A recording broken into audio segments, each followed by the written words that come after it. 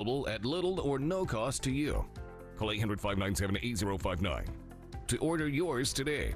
Inogen oxygen concentrators are portable and make oxygen from the air around you. They're light, quiet, and battery operated to go everywhere you go. And we have a full line of portable oxygen units to fit a wide range of budgets. If you're on Medicare, you may even qualify to get your Inogen unit at little or no cost to you. Go back to joining friends for the breakfast special, make spending time with the grandkids easier, or start attending your religious services again. Call Inogen now for a free information kit and a free no obligation consultation on our complete line of affordable portable oxygen products. And anyone on Medicare or with eligible insurance plans may qualify to get an Inogen 1 at little or no cost. Call 800 597 8059. That's 800 597 8059. Breyers is always so delicious. I can tell that they use your milk Matilda. Great job. You're welcome. Breyer's Natural Vanilla is made with 100% grade A milk and cream and only sustainably farmed vanilla. Better starts with Breyer's. Craving restaurant flavor? Introducing new Hellmann's Drizzle Sauce. Crave-worthy flavors you can drizzle, dip, and dress to make home the best restaurant around. New drizzle sauces from Hellmann's. We're on the side of food. Stress Balls Gummies have ashwagandha, an herbal stress reliever that helps you turn the stress life into your best life. Stress less and live more with Stress Balls. You get used to pet odors in your car. You think it smells fine, but your passengers smell this. Eliminate odors you've gone nose blind to for up to 30 days with the Febreze Car Vent Clip. Wow, it smells good in here. So you and your passengers can breathe happy. Tonight on Prime Time, investigators looking not just for one, but a number of people who started the fire at a Wendy's in southeast Atlanta after the deadly shooting of Rayshard Brooks. And Tyler Perry reaching out to help the Brooks family, first paying for Rayshard's funeral, now a generous donation for his four children. And later, could a change to the locations where you're allowed to vote cut back on Georgia's election problems? We're looking at that possibility. 11 Alive News Primetime on the ATL starts now. We begin with a Facebook video from Clayton County that's getting attention now all over the country. It shows a police officer holding several boys at gunpoint. It's already been viewed more than a half a million times, Aisha. However, Cheryl, it only shows a portion of what happened. Tonight, both sides are giving new details on what led up to this and how it ended. It started with a 911 call yesterday from a gas station worker reporting some kids with a gun at the store. They came back again in the parking lot, and they're fighting outside in the parking lot. Anyone else have any weapons? Uh, One of them has a gun. Newly released surveillance video shows what the worker was seeing going on outside the store. Police say the responding officer found a group of kids nearby that matched the 911 call's descriptions. Today, police released part of that officer's body cam video as he pulls up on the kids and a crowd forms. The video, 17 minutes in all. We've edited that video down because of the length. Stop! All of y'all stop! Get your hands up! Up! Walk towards me! Get your hands up! You're gonna get hurt! Get your hands up! Get your hands up! Now listen to me so you don't get hurt. Listen to me. Keep your hands up. Don't move. Don't move. Just relax. Nobody's hurt. Please, I don't want to hurt one of y'all. Standing by. Young man, don't move.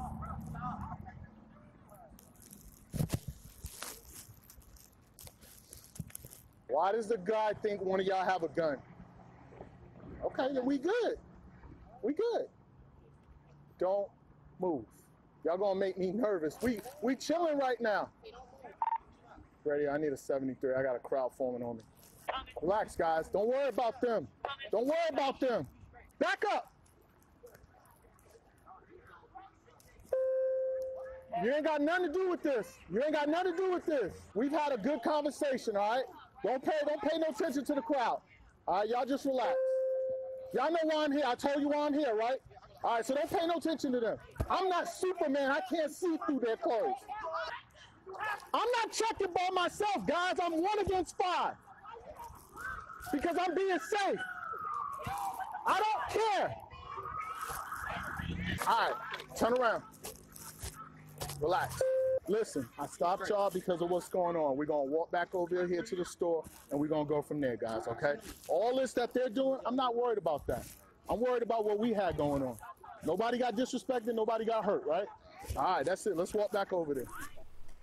After patting the boys down, the teens and officer went back to the gas station. Police say the boys showed him this BB gun that had been tossed in the bushes. Investigators say it looks like a real semi automatic pistol. Before letting the boys go, the officer says he warned them of the danger of carrying around a BB gun that looks like a real gun. But one boy's family and community members have a very different take on this. Joe Henke spoke to them earlier today. One of the young boys seen in the body camera video, a teenager named Kamari, talked with me this afternoon. He appeared traumatized by this incident, and he said during it he feared for his life. Meanwhile, I also talked with his mother. She said she's frustrated for several reasons, one of those being she never heard from police after all of this played out last night. Kamari says the situation should have never led to a gun being pointed at him or other teenagers. During a press conference late this afternoon, Kamari held back tears at one point while describing his encounter with a Clayton County police officer. His mother is frustrated by what played out and how she learned about this incident. Here is Kamari and his mother talking with us late this afternoon at that press conference. I thought I was going to die because I seen all these black kids just dying. And, and to have myself in that, it was just crazy. I actually found out about the video this morning. My daughter, all the way in Ohio, sent me the video. She found out before I found out about this whole um, situation. And I was just wondering, like, why wouldn't the police contact the parents? They contact, they didn't contact any parents. And alongside Kamari and his mother at that press conference were several community activists. They said earlier today they met with Chief Kevin Roberts from the Clayton County Police Department. And during the conversation they had, they said Roberts said that the officer's actions followed department policy and were justified. That did not sit well with those community activists. They said they are now demanding that the department update its use of force policies. They're also demanding that the officer involved, the one that pulled the gun, they want him fired.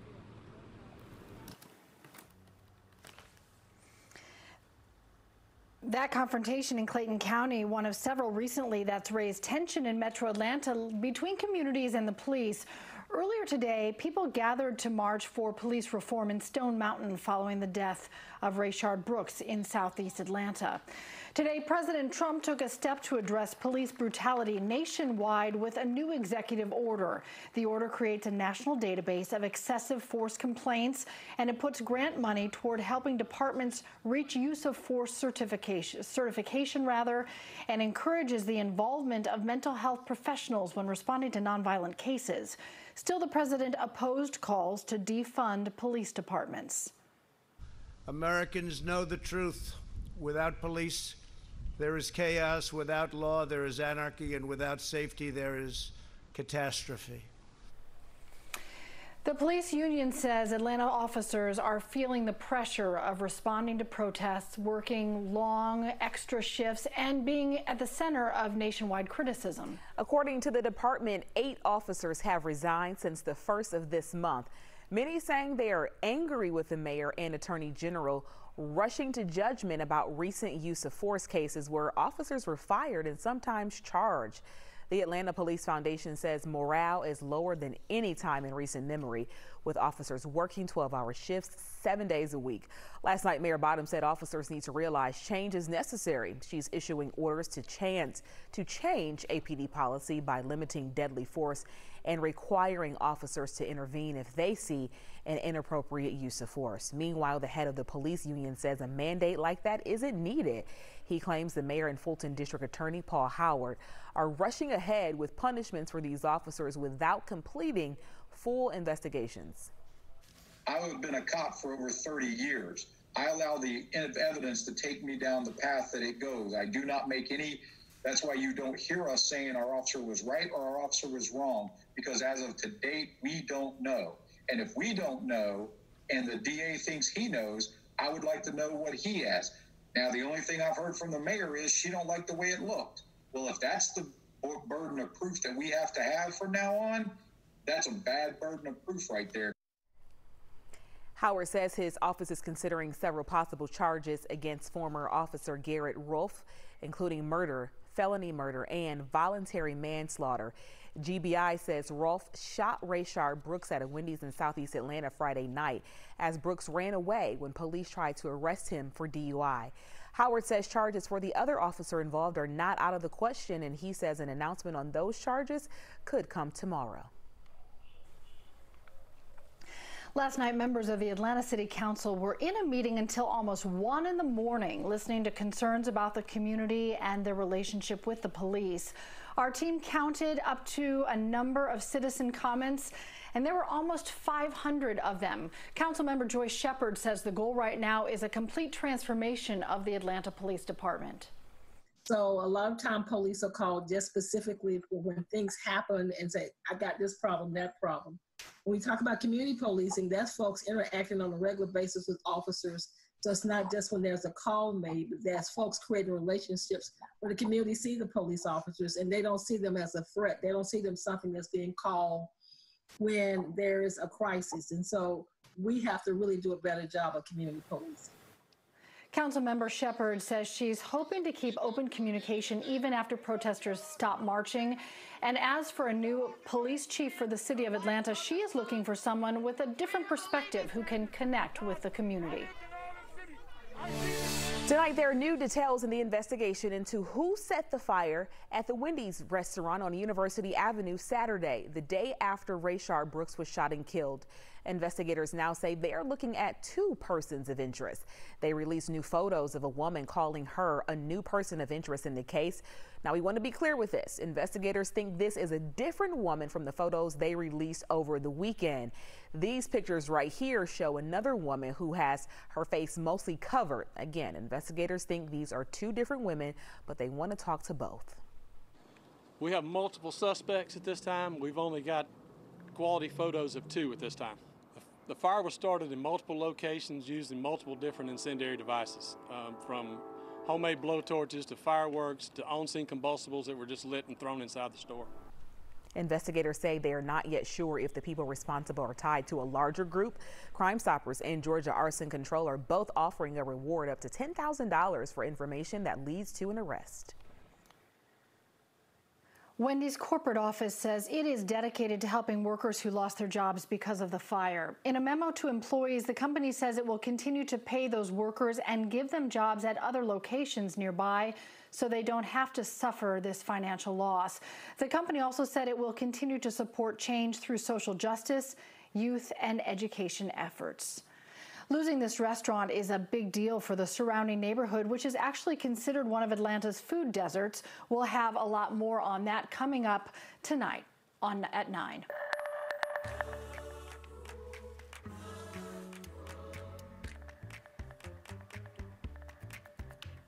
Up next, movie mogul Tyler Perry's generous donation to help out the family of Rayshard Brooks. I'm meteorologist Samantha Mohr, one of your 11 Alive storm trackers, and we've been tracking those cool temperatures and cloudy conditions, all due to this upper level low. So coming up, just how long this system will be in control. And don't forget, we are streaming right now on the 11 Alive YouTube channel, so go ahead and subscribe. You can even join the conversation in the community section. Stick around. More 11 Alive News in prime time coming up after the break.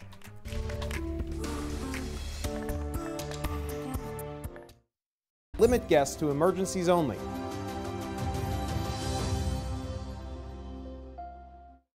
We know things are changing every day, but we're here with you.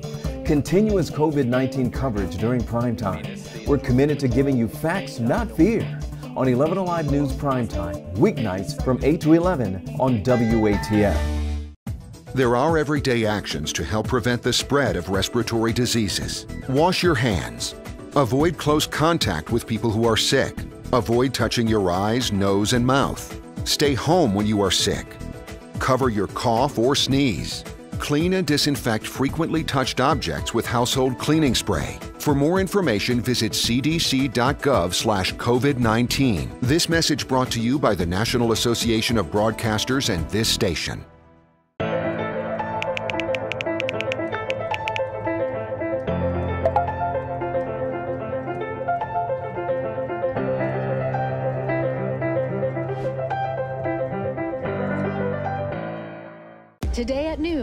Noon on 11 Alive. We are seeing that lack of smell or altered taste can be a symptom. We answer your coronavirus related medical questions. Because 11 Alive is where Atlanta speaks.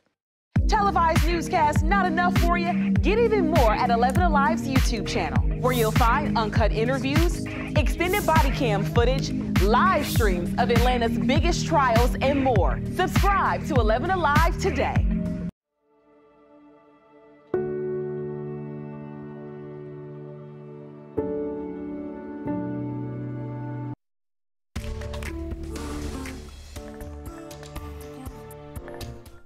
The governor is lifting some coronavirus restrictions in the state, including allowing gatherings of 50 people or more with social distancing. There is no longer a dining limit in restaurants and no seating restrictions in theaters.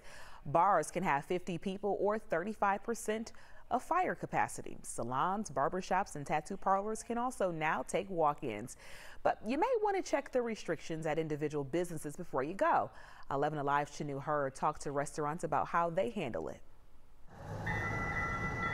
At Sweet Auburn Seafood in Atlanta, dine-in customers aren't swarming in yet. At this state, with you know everything that's happened with you know COVID-19 and where we are, we have not officially opened our doors.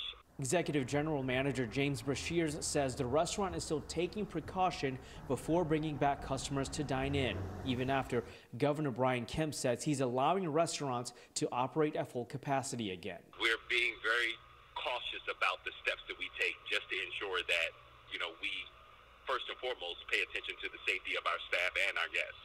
That's what Anne Quatrano is also doing at her restaurants, Bacchanalia and Star Provisions, even though they're open. I mean, our goal is to make our staff and our guests feel safe. I mean, that's our goal even before COVID 19, right? Brashears says every restaurant's timeline is different. They plan to reopen the dining sometime in July. Just because the restrictions have been lifted doesn't mean that it is the appropriate time and uh, safe because there's still a lot of unknowns at the start of restrictions being lifted, and there's still some the same unknowns today. In the meantime, they're focused on making hundreds of meals per day for essential workers through the World Central Kitchen and hope their customers will see them when their doors open. We are still here. We're just trying to do what we can to uh, step into this new normal. Some of the other guidelines for restaurants workers only have to wear a face covering if they're interacting with customers. For salad bars and buffets, workers are allowed to serve patrons cafeteria style, or the business can offer hand sanitizer, a sneeze guard, and regularly replace shared utensils to allow those customers to serve themselves. And they can offer grab and go service, but coolers can only be stocked at minimal levels. Today, new COVID 19 cases remain steady in Georgia with 664 after several days in a row of upward trends. And there are probably a couple of reasons we can point to for those changes, given what we know about how the data lags behind. This is the time we expect to see some of the impact of the mass protests on COVID 19 cases. We also got a great question from a viewer asking how much testing we're doing and how that might also play a role. So here's how that breaks down. One month ago, Georgia had completed 260,000 COVID tests. As of Monday, that number had gone up to 625,000. That's a 139% increase in the number of tests administered across our state. Another measurement public health officials look at is the rate of positive tests. So that means the number of people who have the virus among those tested. So this is harder to calculate because people who have the virus often take a number of tests. So it's not perfect science here, but we do know that one month ago, 14% of people who got coronavirus tested were positive a month later. That's now down to about 9%. The CDC wants to see that number below 15. Anything above that is likely to start to strain our hospital resources. So, where are we on those hospital resources? Here's a look at those currently in the hospital. Right now, our line is pretty steady after trending up a bit last week. As cases rise, we'll be keeping a close eye on this number to see how severe they are. Your 11 Alive storm trackers have been tracking those cloudy, cooler conditions today. And as we take a look this evening across the city of Atlanta, you can see that widespread overcast. We did have some breaks in the clouds today, but it really didn't heat us up all that much. In fact, temperatures were more like early April than they were the middle of June, but I didn't hear anyone complaining. So there's that area of low pressure in the upper levels of the atmosphere. It's cut off from the flow of the jet stream, so that means it's not going anywhere anywhere soon. And it's hanging out over the Calif uh, Carolina coastline, so that's going to keep things just a little unsettled at times for us, meaning a few showers in the North Georgia mountains or scooting through the North Metro. No thunderstorms really expected tonight, nothing strong anyway. There may be just a, a, a brief little downpour. But this low will be sliding off to the southeast of us as we head into the next few days, lifting out and that will change our weather pattern a bit. But in the meantime, just a chance for general showers and thunderstorms tonight with the best chance there near the Outer Banks for severe. They have a marginal level one chance of severe tonight like we had last night. But through tomorrow, we'll just have that chance for general showers and storms. That coming from the Storm Prediction Center out of Norman, Oklahoma. So we're looking at a high temperature today that was 12 degrees below average. 75, we will take it after a morning low of 61. We should be around 69 and 87 this time of year, and we were well below that record high of 98. Can you imagine 98? I don't want to imagine it. I like uh, I like mid 70s. So another thing that was great today is the humidity was so low due to the dew points. The dew points were in the 50s. That was nice and dry like early spring or fall instead of the midst of summer. And that dew point will be going back up in the 60s as we head in towards the weekend. And those temperatures are probably going to be the hottest that we have seen so far this year as we go to the first weekend of summer, which is this weekend. So for tomorrow, a 7 on the wasometer on that scale of 1 to an 11, with an 11 being a perfect day with a 30% chance of showers and storms, mainly during the afternoon and evening. And the temperatures may be warming up just a few degrees warmer than we were today. So in terms of this evening, showers and storms moving mainly through the North Georgia mountain, kind of evaporating as they try to make their way into town. There may be one that hangs together, gives you a little downpour, but most people will not see any rain this evening. Getting into tomorrow afternoon and evening, more in the way of showers and storms kind of dotting the radar. They will be isolated in nature. 30% chance on our Wednesday. And that chance goes up as we head into our Thursday as we see a 40% chance of showers and storms. Just a little more coverage. Right now, we're not expecting anything really organized in terms of uh, being strong to severe, but we'll watch that as we get towards our Thursday afternoon and evening. And it's looking like Friday afternoon and evening we'll be watching the radar as well for more widespread showers and storms. So they'll be isolated in nature yet this evening.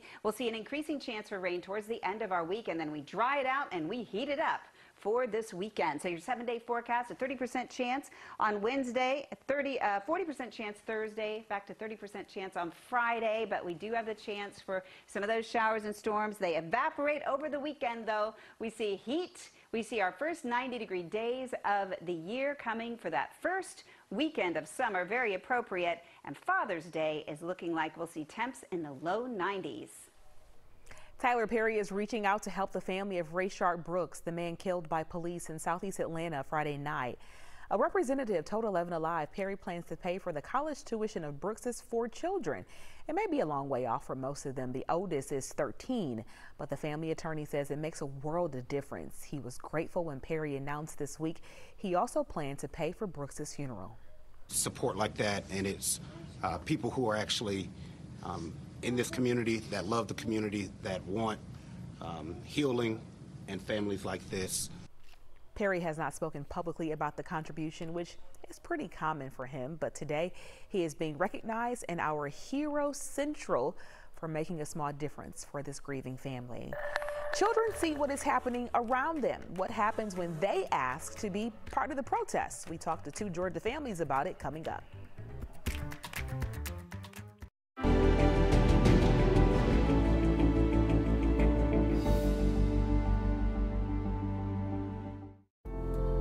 In times of great uncertainty, some things become more clear. The things we take for granted, the people we depend on daily. Here at 11 Alive, we'd like to say thank you. First responders, medical staff, sanitation workers, truck drivers, postal workers, and every brave Georgian doing their part to make a difference. We see you, we hear you, and we appreciate all that you do. Let's start with a viral message going around. Quote, vast majority of people who died had ibuprofen Advil in their system. This message is fake. We just bought 20 dust masks for $97. Are you doing this to help people or are you doing this to make money or both? Both. Take this email sent to the Verify team. Is it safe to have your house cleaned by outside workers? The best practice is to limit guests to emergencies only.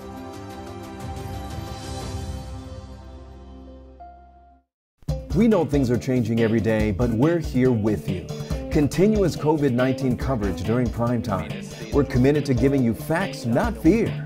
On 11 Alive News Prime Time, weeknights from 8 to 11 on WATF. There are everyday actions to help prevent the spread of respiratory diseases. Wash your hands. Avoid close contact with people who are sick. Avoid touching your eyes, nose, and mouth. Stay home when you are sick. Cover your cough or sneeze. Clean and disinfect frequently touched objects with household cleaning spray. For more information, visit cdc.gov slash COVID-19. This message brought to you by the National Association of Broadcasters and this station.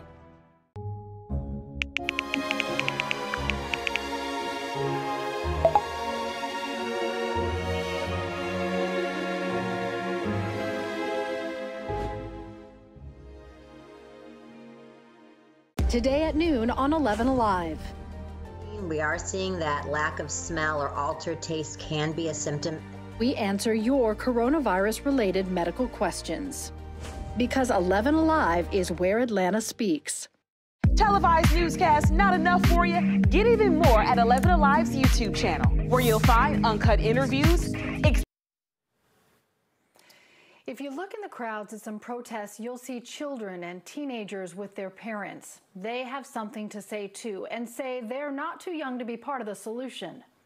They are children, well aware of the injustice around them. I hope that black people getting mistreated would stop. Young people who want to do something about it. It's good to stand up for your life. Kennedy Harris is 10, her brother Caden 9. They told their parents they want to be part of a change. And I told them that I wanted to go out and protest. We gave them the choice and we told them just everything that could happen. They still wanted to go. And as their parents, you know, we wanted to support them. A little bit nervous, but it was worth it. We think it's really important to understand uh, so they can self identify with what's going on and to just strive towards equality. This generation understanding that change requires action. And Cheryl, I couldn't watch everything on TV and then tell the story to our grandkids and great kid grandkids, and they asked us, "Well, Grandma and Grandpa, what did you do when that was going on?" I couldn't tell them that I just sat at home and did nothing. I think we need to change stuff right now to make a better world later on. 16 year old Whitaker Swan felt compelled. Saw what happened to George Floyd and said, I have to do something. He told his dad, Chris, he wanted to organize a protest in Sandy Springs. The unified people you have, you'd have black people, white people, men, women, people of the LGBTQIA plus community, everyone together. I think it shows that it's it's everyone's problem and everyone needs to help to fix it. You, you don't go out and have one rally, one protest, one march and say, okay, that's done. Did that. Check. We need systemic change. How did you feel when you were out there? It felt good that everyone cared about what was happening. Do you think sometimes people underestimate kids? Yes, but we can do anything. Young people who know their voices and their actions can make a difference for the future. I hope that they don't have to go through stuff that a lot of people are going Next, the city of Kennesaw takes a stand against a Confederate symbol, but it could put them at odds with state law. Live streams of Atlanta's biggest trials and more. Subscribe to 11 Alive today.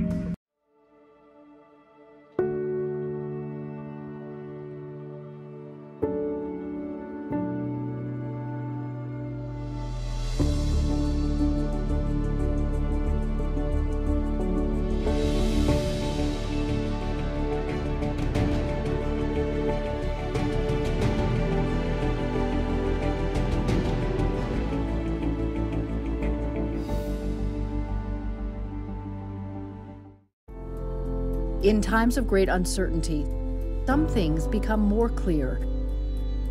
The things we take for granted, the people we depend on daily.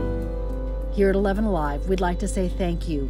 First responders, medical staff, sanitation workers, truck drivers, postal workers, and every brave Georgian doing their part to make a difference. We see you, we hear you, and we appreciate all that you do. Let's start with a viral message going around. Quote, vast majority of people who died had ibuprofen Advil in their system. This message is fake. We just bought 20 dust masks for $97. Are you doing this to help people or are you doing this to make money or both? Both. Take this email sent to the Verify team. Is it safe to have your house cleaned by outside workers? The best practice is to limit guests to emergencies only.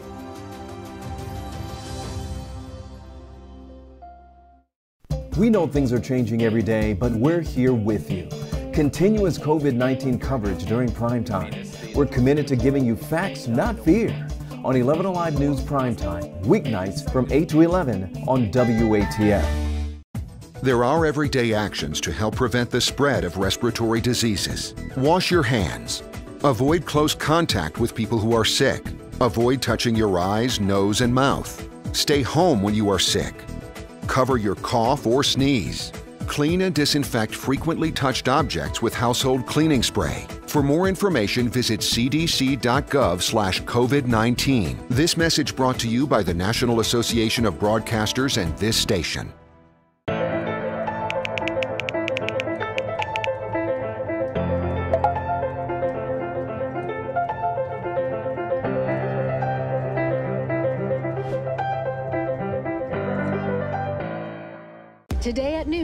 11 Alive. We are seeing that lack of smell or altered taste can be a symptom. We answer your coronavirus related medical questions. Because 11 Alive is where Atlanta speaks. Televised newscast, not enough for you? Get even more at 11 Alive's YouTube channel, where you'll find uncut interviews, extended body cam footage, live. We all remember the video from a week ago. Voters stuck in very long lines. Some of them had to wait for hours to vote. And some lawmakers have ideas on how to fix that, but it's easier said than done. Doug Richards has more. State law requires Election Day voters to vote at their neighborhood precincts, which gave voters stuck in lines at this Southeast Atlanta library four and a half hours, I believe. little choice but to stay in line or go home. But if the law changed to allow voters to vote at any precinct in the county, Yeah, if they saw a line in one precinct, they could have gone to another one where there was no line. Democrat Roger Bruce is behind a bill that would allow voters to vote at any precinct in their home county. Another bill would require the state to send absentee ballots, not applications, but ballots, to every voter in the state without the voter requesting it. I tried to uh, get an absentee val- ballot. I- Last week in Fulton County, many voters waiting in lines complained that they'd never received the absentee ballots they had requested. If I send in an absentee ballot, I expect to get something in return, so I do not have to come out here and sit for two, three hours. You cast your ballot and you go home. It's that simple. Roger Bruce says his bill reflects the reality that voters are allowed to vote at numerous early voting locations in their home county because counties can keep digital voter lists at every location. In Fulton County, it would have let these voters choose from 164 voting locations. They do it for early voting. It's in the system.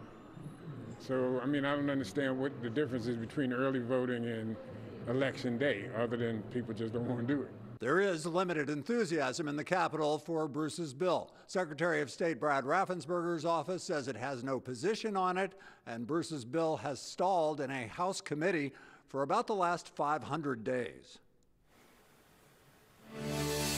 Change is coming. The Kennesaw City Council has voted unanimously now to permanently remove the Confederate flag from the city's war memorial. We want to show you the flag that will be put there in its place. It was the unofficial state flag from around 1861 to 1879. It showed the coat of arms from the 1799 state seal on a blue background. A previous petition to remove the flag got thousands of signatures, but the flag remained because of a state law that prohibits moving locations or total removal of war memorials. The city council hearing arguments from both sides last night.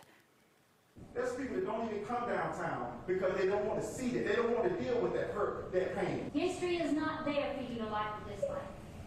It's there for you to learn from it. The vote came during a packed council meeting, which was set up for social distancing. Still, the city could face legal action for their decision. All right, time now to get you up to speed on some other local stories we are following for you. Gwinnett police are working to find out who shot and killed a woman in her Lawrenceville apartment. The victim is 35 year old Shamika Bird. Investigators think someone fired shots from outside, hitting the windows inside of the apartment building on Club Lakes Parkway. There were other people inside, but they were not hurt. The shooting left neighbors shaken. He heard. He said he heard about 30 shots because uh, he called me at work. Everybody, as you see, it, so it's a lot of kids around here. We're all tightly in, so it gets scary. Yeah. Police say they continue to canvass the area for witnesses and evidence. A four-year-old was one of two bodies found in a burned-out car on Colquitt Street Sunday. Douglasville police identified the bodies as 59-year-old LaWanda Barrows and 4-year-old Layla Hobbs. Derek Hobbs has been arrested and is facing several charges, including two counts of felony murder. GBI investigators now say a shooting in Coweta County started with a high-speed chase involving a Georgia State Patrol trooper. The trooper was pursuing a 25 year old man on a motorcycle last night in Newnan. Minutes later, officers found that man inside a bail bonds business along Greison Trail. They say it looks like he broke in. GBI says a Newnan officer warned other officers the suspect had a gun.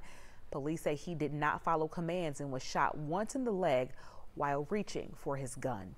The Johns Creek police chief is on administrative leave during an internal investigation. Chief Chris Byers was criticized recently for posts on his personal Facebook page accusing some religious leaders of abandoning law enforcement after the death of George Floyd in Minneapolis. The city manager tells 11 Alive the internal investigation is not related to Byers' Facebook posts. For now, Major Roland Castro will lead the department. What would you ask the candidates to be the next chief of the Atlanta Police Department? That is the question that we've been asking all day long on Facebook. It's also the question that we took to the leaders of the neighborhood associations that make up our city. Matt Pearl has a glimpse of what we found. Sohey Galbraith. J. Lawrence Miller. My name is Robin Jackson. I represent uh, Loring Heights. Adair Park. Castleberry Hill. I work downtown. Currently the president of the Atlanta Downtown Neighborhood Association. My one question would be What level of accountability will officers have to the citizenry? Would the new police chief have experience in uh, diversity. What I'm most interested in um, are those soft skills. Um, so, a deep seated um, sense of compassion. Are we asking too much of our uh, police forces? You know, part of it comes down to training, and you can't really train someone to be a social worker, you know, a, a, meter maid, a traffic officer all at the same time. How about the police department just says that our responsibility is public safety? We are really, really, really concerned about what they're going to do about homeless in downtown, the homeless people. We have always had a fantastic relationship with our police precincts. Um, especially zone five. We see them quite often directing traffic and also um, helping. There is no trust if a police officer comes to my door and I own my house, I'm not going to let him in. We often talk about order, but we forget that peace part. And I think peace is um, a large part of what we need right now. We've had that good relationship with the police in the past. However, I, I do think that there are structural issues that we've seen. That the overall system is in desperate need um, of reform and change. Every voice, every body, every home matters. It, it matters. There's certainly things to address and now seems to be a good time to do that. As the country reopens, businesses are turning to technology for new social distancing measures. Major airlines say passengers who refuse to wear masks will be put on a domestic internal restriction list, and Amazon is unveiling a social distancing app. NBC's Miguel Almaguer looks at some items on the market to help protect Americans. Already faced with change, tonight major airlines are doubling down on their policy requiring passengers to wear masks. Those who refuse will be placed on an internal travel restriction list, losing their flying privileges for a duration of time to be determined. You know, I think wearing masks is a must right now.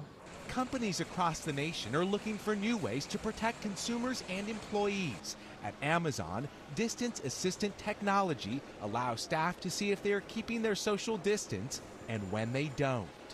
Now, view how crowded the train is. In New York, the Long Island Railroad lets commuters find empty trains on its app, allowing them to space out. It comes as a new study says roughly half of all Americans voluntarily wear a mask at all times when leaving home. It's going to be more reassuring for people to know that, yeah, I'm wearing a mask because I'm protecting myself and I'm protecting the people around me. With an entire market of products, from hygiene hooks to open doors to wearable hand sanitizer dispensers, your employer and even your local theater will likely be required to take new safety measures to protect you.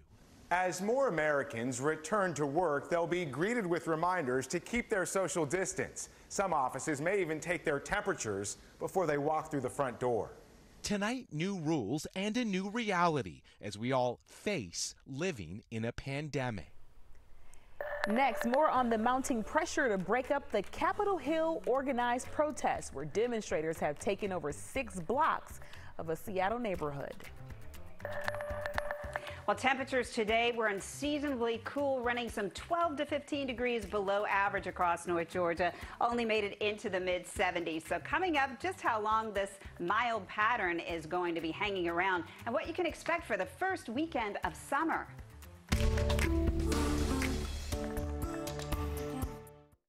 And we appreciate all that you do. Let's start with a viral message going around. Quote, vast majority of people who died had ibuprofen Advil in their system. This message is fake. We just bought 20 dust masks for $97. Are you doing this to help people or are you doing this to make money or both? Both. Take this email sent to the Verify team. Is it safe to have your house cleaned by outside workers? The best practice is to limit guests to emergencies only.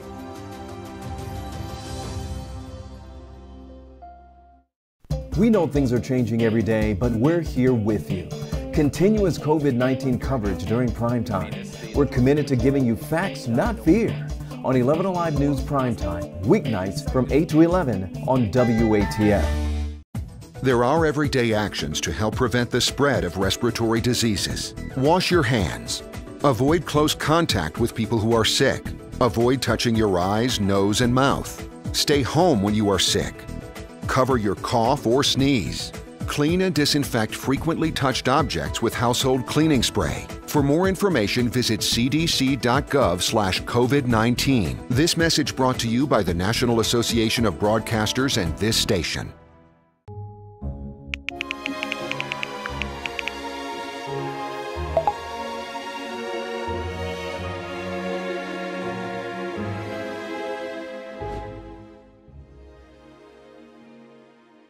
Today at noon on 11 Alive.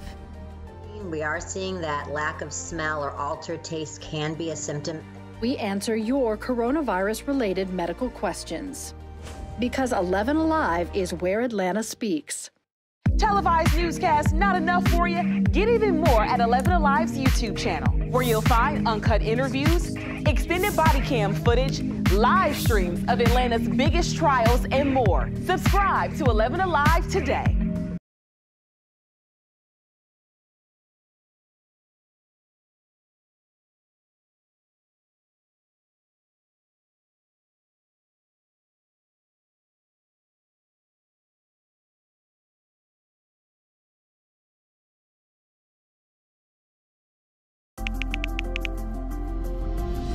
Start with a viral message going around. Quote, vast majority of people who died had ibuprofen Advil in their system. This message is fake. We just bought 20 dust masks for $97. Are you doing this to help people or are you doing this to make money or both? Both. Take this email sent to the Verify team. Is it safe to have your house cleaned by outside workers? The best practice is to limit guests to emergencies only.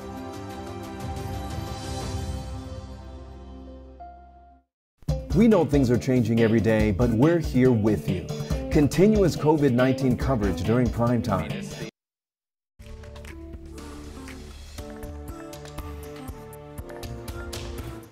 A neighborhood near Capitol Hill in Seattle has all eyes fixed on it after Black Lives Matter protesters took over entire city blocks, including the police precinct in that east part of the Capitol there. First known as the Capitol Hill Autonomous Zone, the sit in has a new name now, and with it comes increasing pressure from the president and from other politicians to break it up. Seattle is on edge. Protesters showing no signs of leaving this six block area after taking it over a week ago. Now festive, crowded, and peaceful, demonstrators pitching tents and planting gardens this weekend in the newly renamed Capitol Hill Occupied protest. We're here in peace and solidarity for a cause that needs to change. Their demands reduce funding for the Seattle Police Department, invest in the black community, and release arrested protesters. The president doubling down on local officials. But if they don't do the job, we will do the job. The Seattle Police Union blames the situation on local leaders. When you voluntarily surrender a police facility and you acquiesce to unreasonable activism, criminal activity for political gain, to me, that's unconscionable. Mayor Jenny Durkan did not give specifics on what she'll do next. We're working with all people right now to move forward to find a way that we can accommodate First Amendment, but also make sure that we have a vital area for our businesses and residents. And since this occupied area spans several city blocks, police now say it takes three times longer to respond to 911 calls, putting even more pressure on leaders and protesters to resolve this as quickly as possible. During this time when Black Lives Matter is on the forefront in the fight for racial equality, other minority groups are standing in solidarity. We are seeing it all across metro Atlanta. 11 Alive's Chanu Her explains why. In a fight for equality, Black Lives Matter is the message paving the way. As the black community rallies together, other minority groups are noticing their cries and standing in solidarity. We need to all stand together to get equality. Zua Vang is a member of the Hmong Georgia Community, Inc., and she says she hopes other minorities see the big picture of this movement. What they're doing is not just to benefit the Black lives, but it is to benefit all minority groups. Numerous Asian American groups in and outside of Georgia signed this letter saying, in part, Today, we call on our Asian American community to break that silence and commit to building solidarity with our black brothers and sisters. We must resoundingly exclaim that Black Lives Matter. The Latin American Association in Atlanta also made its voice heard, saying in their statement, unless each of us acts to uproot racism, it will continue to cost black lives. To that end, the Latin American Association stands in solidarity with black communities across this country. Vang, whose ethnicity is Hmong, says watching the black community hurt over recent events hit home. One of the people she's closest to in the world, her godmother since she was a kid, is black. And supporting Black Lives Everywhere is to her also supporting Miss Clemens. No matter what nationality you are, we all need to stand together for equality. CPACS, another Asian American group in Metro Atlanta, also put out a statement in support of the Black Lives Matter movement.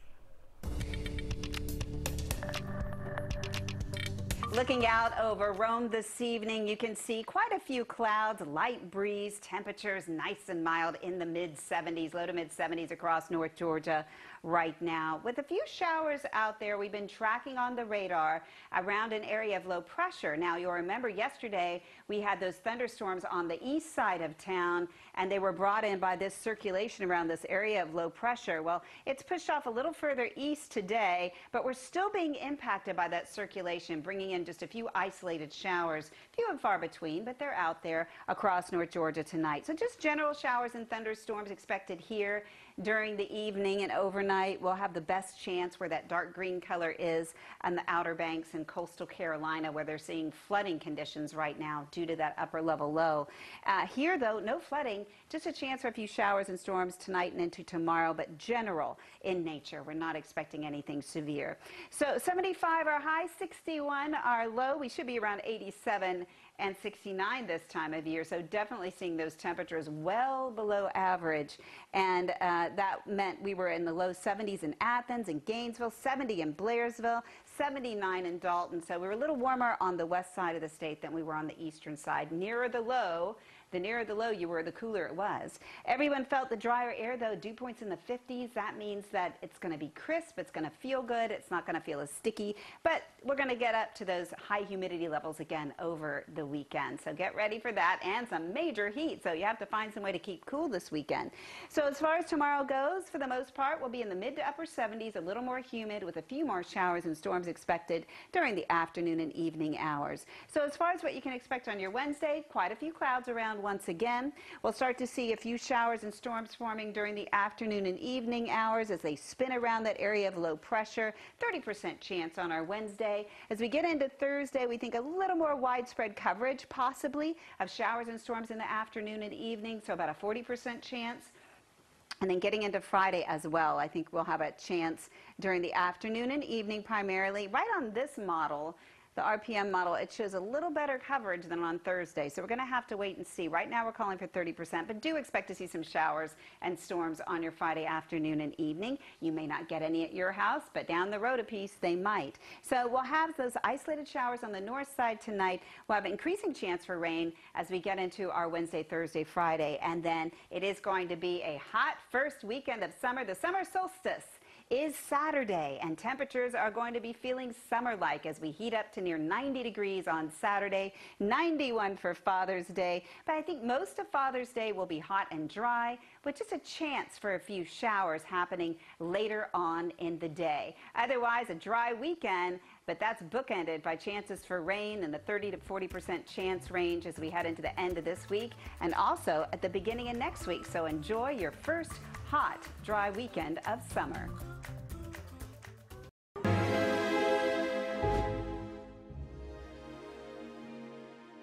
Today at noon on 11 Alive.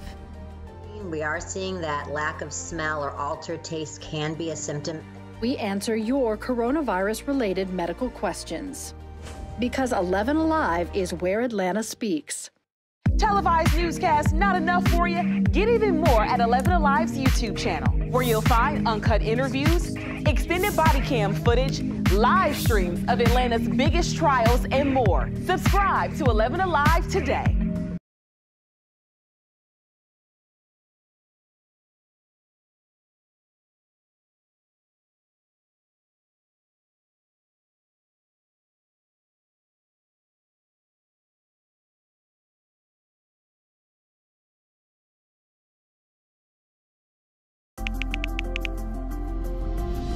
Start with a viral message going around. Quote, vast majority of people who died had ibuprofen Advil in their system. This message is fake. We just bought 20 dust masks for $97. Are you doing this to help people or are you doing this to make money or both? Both.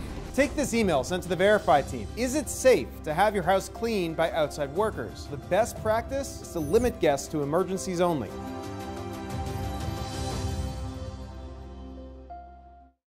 We know things are changing every day, but we're here with you. Continuous COVID 19 coverage during prime time. We're committed to giving you facts, not fear. On 11 Alive News Prime Time, weeknights from 8 to 11 on WATF. There are everyday actions to help prevent the spread of respiratory diseases. Wash your hands. Avoid close contact with people who are sick. Avoid touching your eyes, nose, and mouth. Stay home when you are sick. Cover your cough or sneeze.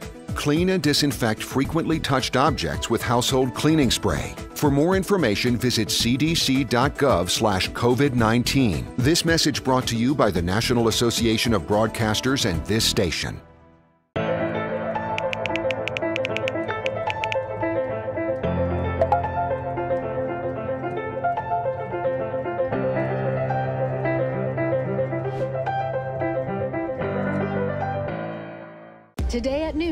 11 Alive. We are seeing that lack of smell or altered taste can be a symptom. We answer your coronavirus related medical questions. Because 11 Alive is where Atlanta speaks. Televised newscasts not enough for you? Get even more at 11 Alive's YouTube channel, where you'll find uncut interviews, extended body cam footage, live streams of Atlanta's biggest trials, and more. Subscribe to 11 Alive today.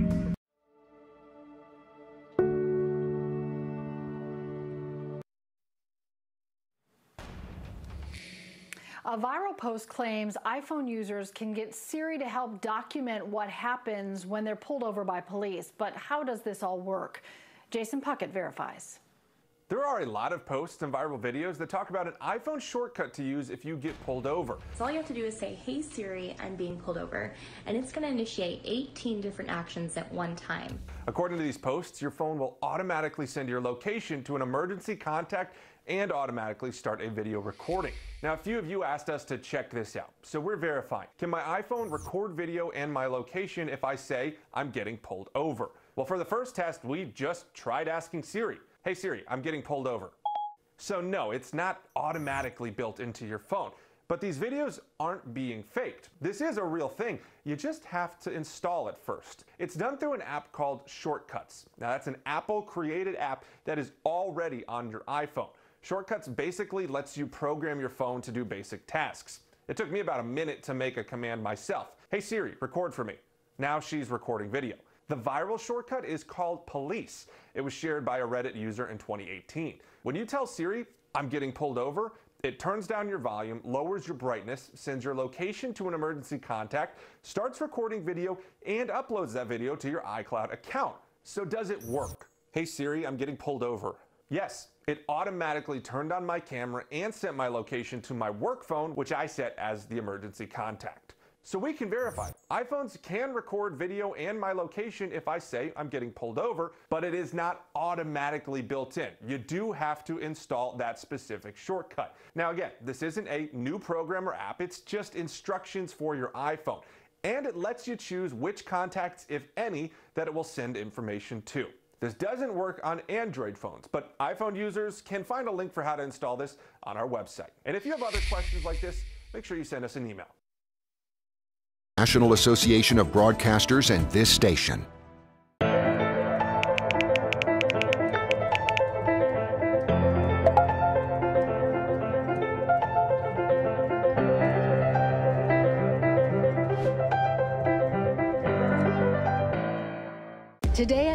On 11 Alive. We are seeing that lack of smell or altered taste can be a symptom. We answer your coronavirus related medical questions. Because 11 Alive is where Atlanta speaks. Televised newscast, not enough for you? Get even more at 11 Alive's YouTube channel, where you'll find uncut interviews, extended body cam footage, live streams of Atlanta's biggest trials, and more. Subscribe to 11 Alive today.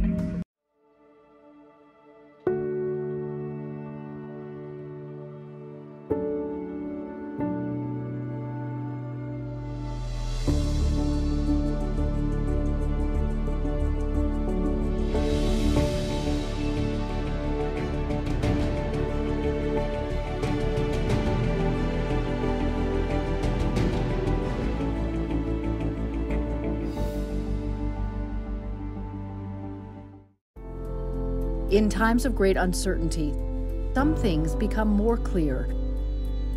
The things we take for granted, the people we depend on daily. Here at 11 Alive, we'd like to say thank you. First responders, medical staff, sanitation workers, truck drivers, postal workers, and every brave Georgian doing their part to make a difference. We see you, we hear you, and we appreciate all that you do. Let's start with a viral message going around. Quote, vast majority of people who died had ibuprofen Advil in their system. This message is fake. We just bought 20 dust masks for $97. Are you doing this to help people or are you doing this to make money or both? Both. Take this email sent to the Verify team. Is it safe to have your house cleaned by outside workers? The best practice is to limit guests to emergencies only.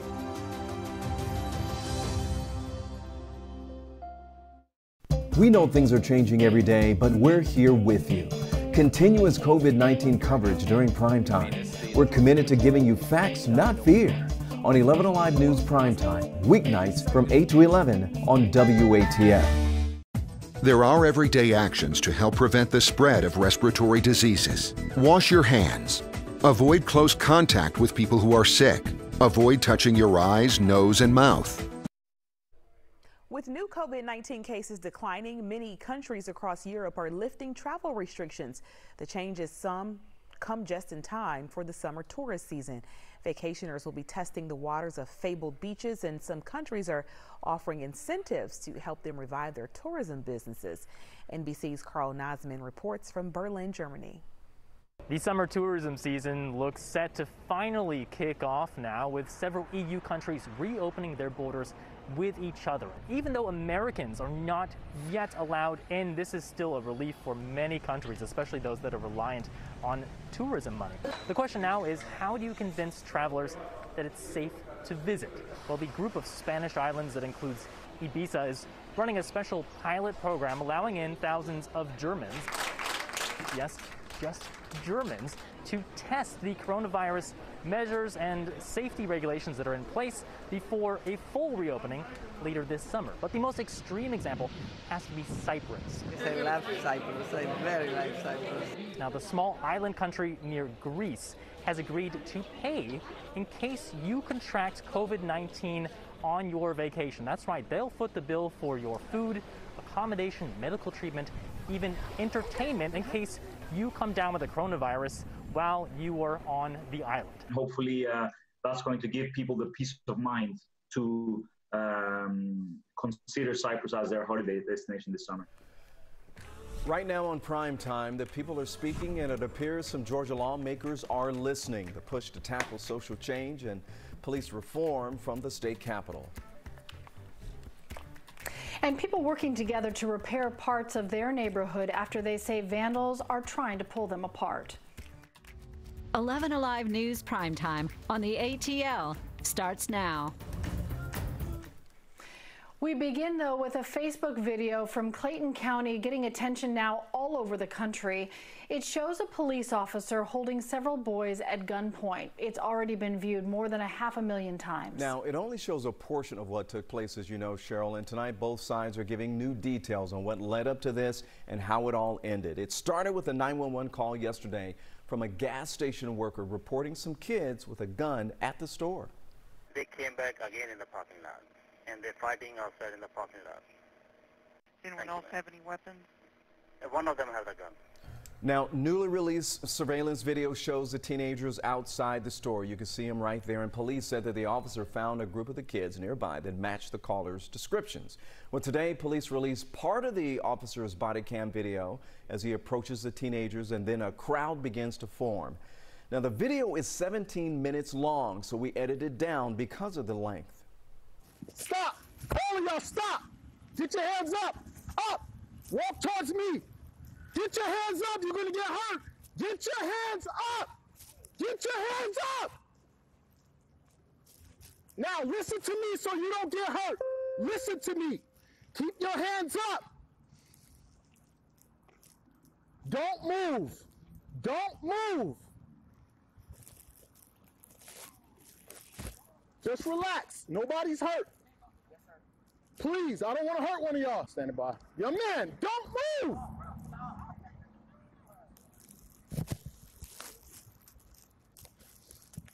Why does the guy think one of y'all have a gun? Okay, then we good. We good. Don't move. Y'all gonna make me nervous. We we chilling right now. Ready? I need a 73. I got a crowd forming on me. Relax, guys. Don't worry about them. Don't worry about them. Back up. You ain't got nothing to do with this. You ain't got nothing to do with this. We've had a good conversation, all right? Don't pay, don't pay no attention to the crowd. All right, y'all just relax. Y'all know why I'm here. I told you why I'm here, right? All right, so don't pay no attention to them. I'm not Superman. I can't see through their clothes. I'm not checking by myself, guys. I'm one against five. Because I'm being safe. I don't care. All right, turn around. Relax. Listen, I stopped y'all because of what's going on. We're going to walk back over here to the store and we're going to go from there, guys, okay? All this that they're doing, I'm not worried about that. I'm worried about what we had going on. Nobody got disrespected, nobody got hurt, right? All right, that's it. Let's walk back over there. All right, so after searching those young men, the officers and the teenagers, they go back to the gas station. Police say the boys showed him this BB gun right there on your screen that had been tossed into the bushes. And investigators say it looks like a real semi-automatic pistol. Before letting the boys go, the officer says that he warned them of the dangers of carrying around a BB gun that looks like the real thing. But one of the boys' family members and the community members as well have a very different take on this situation. 11 Alive's Joe Henke spoke with him this afternoon. One of the young boys seen in the body camera video, a teenager named Kamari, talked with me this afternoon. He appeared traumatized by this incident, and he said during it he feared for his life. Meanwhile, I also talked with his mother. She said she's frustrated for several reasons, one of those being she never heard from police after all of this played out last night. Kamari says the situation should have never led to a gun being pointed at him or other teenagers. During a press conference late this afternoon, Kamari held back tears at one point while describing his encounter with a Clayton County police officer. His mother is frustrated by what played out and how she learned about this incident. Here is Kamari and his mother talking with us late this afternoon at that press conference. I thought I was going to die because I seen all these black kids just dying. And, and to have myself in that, it was just crazy. I actually found out about the video this morning. My daughter, all the way in Ohio, sent me the video. She found out before I found out about this whole um, situation. And I was just wondering, like, why wouldn't the police contact the parents? They contact, they didn't contact any parents. And alongside Kamari and his mother at that press conference were several community activists. They said earlier today they met with Chief Kevin Roberts from the Clayton County Police Department. And during the conversation they had, they said Roberts said that the officers' actions followed department policy and were justified. That did not sit well with those community activists. They said they are now demanding that the department update its use of force policies. They're also demanding that the officer involved, the one that pulled the gun, they want him fired. Atlanta police fired Garrett Rolfe within 24 hours of the shooting of Rayshard Brooks last Friday night. 11 Alive Chief Investigator Brendan Keefe discovered that this is not the first time the police department had to investigate the now former officer for improper use of force involving a firearm. Hey, Mr. Brooks. Two lives are about to change forever. How you doing? Hey, I'm Officer Rolfe from the Atlanta Police Department. How you doing? 26 minutes after Officer Garrett Rolfe started a DUI investigation of Rayshard Brooks in the Wendy's parking lot. Put your hands behind your back. They would be locked in a violent struggle. Officer and suspect both making split-second decisions that would end Rayshard Brooks' life. Garrett Rolfe joined the force as an academy cadet in late 2013. Just ran out that way. The Reveal investigative team already had this video from the rescue of a kidnapping victim in 2016. He, he just ran up this way. Rolfe was one of the backup officers who chased the other kidnapping suspects. We're gonna shoot you! I'm gonna shoot you! I'm gonna shoot your ass! I'm gonna shoot you! He fired his taser but missed. In this incident, all the suspects were successfully captured and convicted, and there were no allegations of wrongdoing on the part of Officer Rolfe. But he was investigated by the APD Office of Professional Standards 12 times, according to a summary released by the department. Four of them complaints filed by citizens against Officer Rolfe between 2015 and 2018. One citizen complaint was not sustained, and he was completely exonerated in the other three. In October of 2017, APD issued a written reprimand to Officer Rolfe after Internal Affairs sustained an allegation of improper use of force involving a firearm. We don't know any of the details of these internal investigations yet because Atlanta police have so far released only a summary of Rolfe's disciplinary record. Found him passed out the State records show Garrett Rolfe has received more than 2,000 hours of training in his seven year career. And since January of this year, he's been trained in firearms, de escalation, cultural awareness, and deadly force. So at this point, Officer Rolfe is not charged in the shooting from last Friday. Fulton County DA Paul Howard says he could make a decision as early as tomorrow. His office tells 11 Alive the three charges they're considering are murder, which would be, would be the most serious, felony murder, and voluntary manslaughter, which would be less serious. Well, today we spoke with criminal defense attorney Bill McKinney about the case. He's not representing the officer, but he used to be an officer in New York and served as a legal advisor to the Atlanta Police Department. He says, in his experience, even the voluntary manslaughter will be hard to argue, and he questions how quickly the possible charges will be announced. In, in 40 years, I've never seen a jump to judgment this quickly. Uh, normally takes weeks and months uh, by GBI investigators, uh, internal affairs from the police department, uh, and even outside agencies to, to look at this before they make any type of judgment, whether it's criminal, as opposed to something that could be civil or disciplinary. Something interesting here, folks. He says that Howard has argued in other cases against officers that a taser is actually a deadly weapon, which could potentially open the door for Rolfe to argue self defense if he's in fact charged. In the Georgia legislature, Democrats have introduced a series of measures to curb police powers after protests over police brutality and excessive force. 11 Alive's Doug Richards reports the urgency of the legislation may clash with the clock. There are only about nine days left in this much delayed legislative session here at the Capitol. And over the last two days, Democrats have introduced a very ambitious package designed at curbing police power. There's a bill that would require body cameras on every police officer in the state. There are measures to restrict chokeholds, to regulate use of force, to eliminate no knock warrants, to regulate vehicle pursuit, and to restrict the use of tasers by police. With police incidents roiling Atlanta and the world, Democrats say they're all overdue. The time is now. You know, we cannot go another session without doing something about what is going on in America right now and what has been going on for years. Those are big subjects. But it will likely take another legislative session to get it done, says Republican House Speaker David Ralston. I think are topics that are uh, worthy of discussion. Uh, but, uh, you know, you certainly don't want to uh, tackle issues like that in haste. Ralston promised to take up the measures next year. Democrats are hoping to attach their legislation to other bills that have more of a chance of passing in the next nine legislative days. Tonight, there are new details in the investigation into who set fire to the Wendy's on University Avenue Saturday, the day after Brooks was shot and killed. Investigators now say they are looking for two persons of interest. Here they are. They released this new photograph of a woman calling her a new person of interest in this case.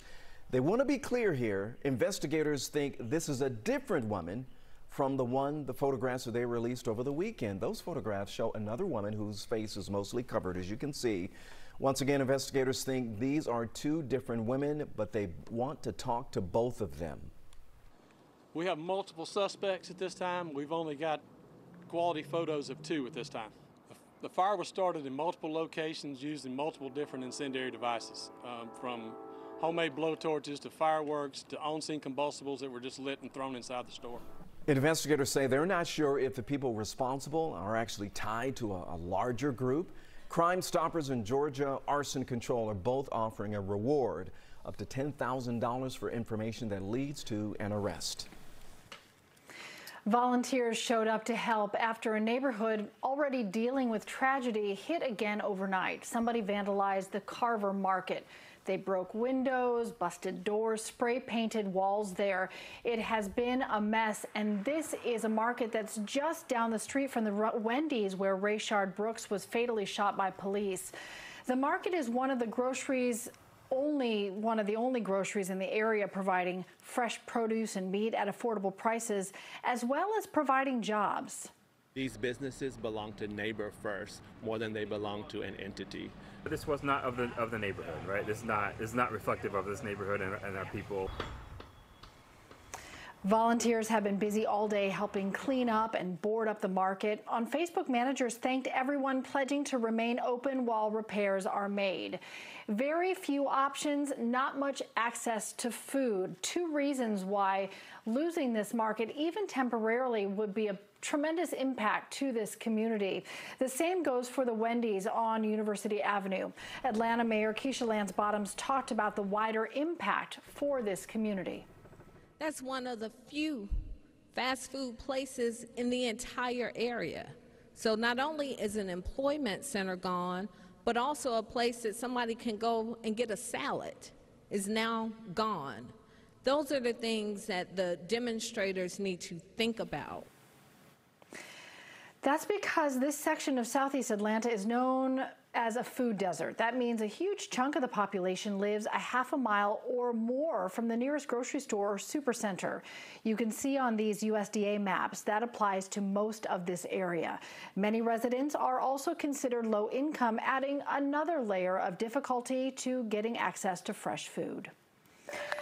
All right, coming up next, movie mogul Tyler Perry's generous donation to help the family of Rayshard Brooks.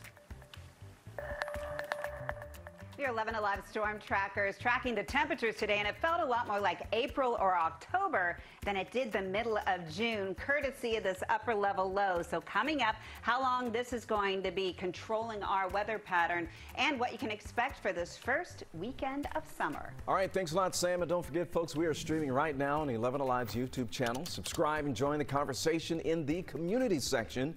We got more 11 Alive news, prime time after the break.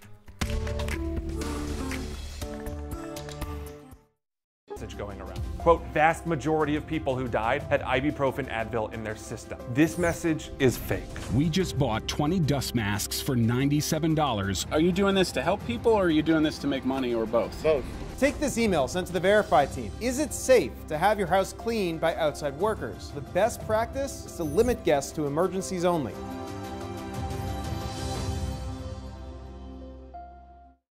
We know things are changing every day, but we're here with you. Continuous COVID 19 coverage during prime time. We're committed to giving you facts, not fear. On 11 Alive News Prime Time, weeknights from 8 to 11 on WATF. There are everyday actions to help prevent the spread of respiratory diseases. Wash your hands. Avoid close contact with people who are sick. Avoid touching your eyes, nose, and mouth. Stay home when you are sick. Cover your cough or sneeze. Clean and disinfect frequently touched objects with household cleaning spray. For more information, visit cdc.gov/covid19. This message brought to you by the National Association of Broadcasters and this station.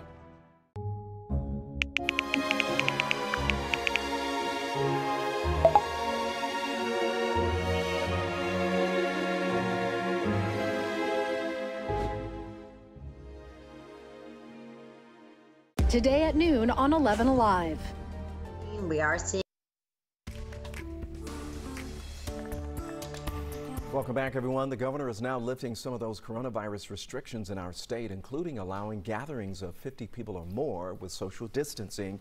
There is no longer a dining limit in restaurants and no seating restrictions in theaters. Bars can have up to 50 people or 35 percent of fire capacity. Salons, barbershops, and tattoo parlors can also take walk-ins right now. But you may want to check restaurants and those restrictions at individual businesses before you go. 11 Alive's Janu Her spoke with our restaurant owners about how they're going to handle all of this. At Sweet Auburn Seafood in Atlanta, dine-in customers aren't swarming in yet. At this state, with you know everything that's happened with you know COVID-19 and where we are, we have not officially opened our doors.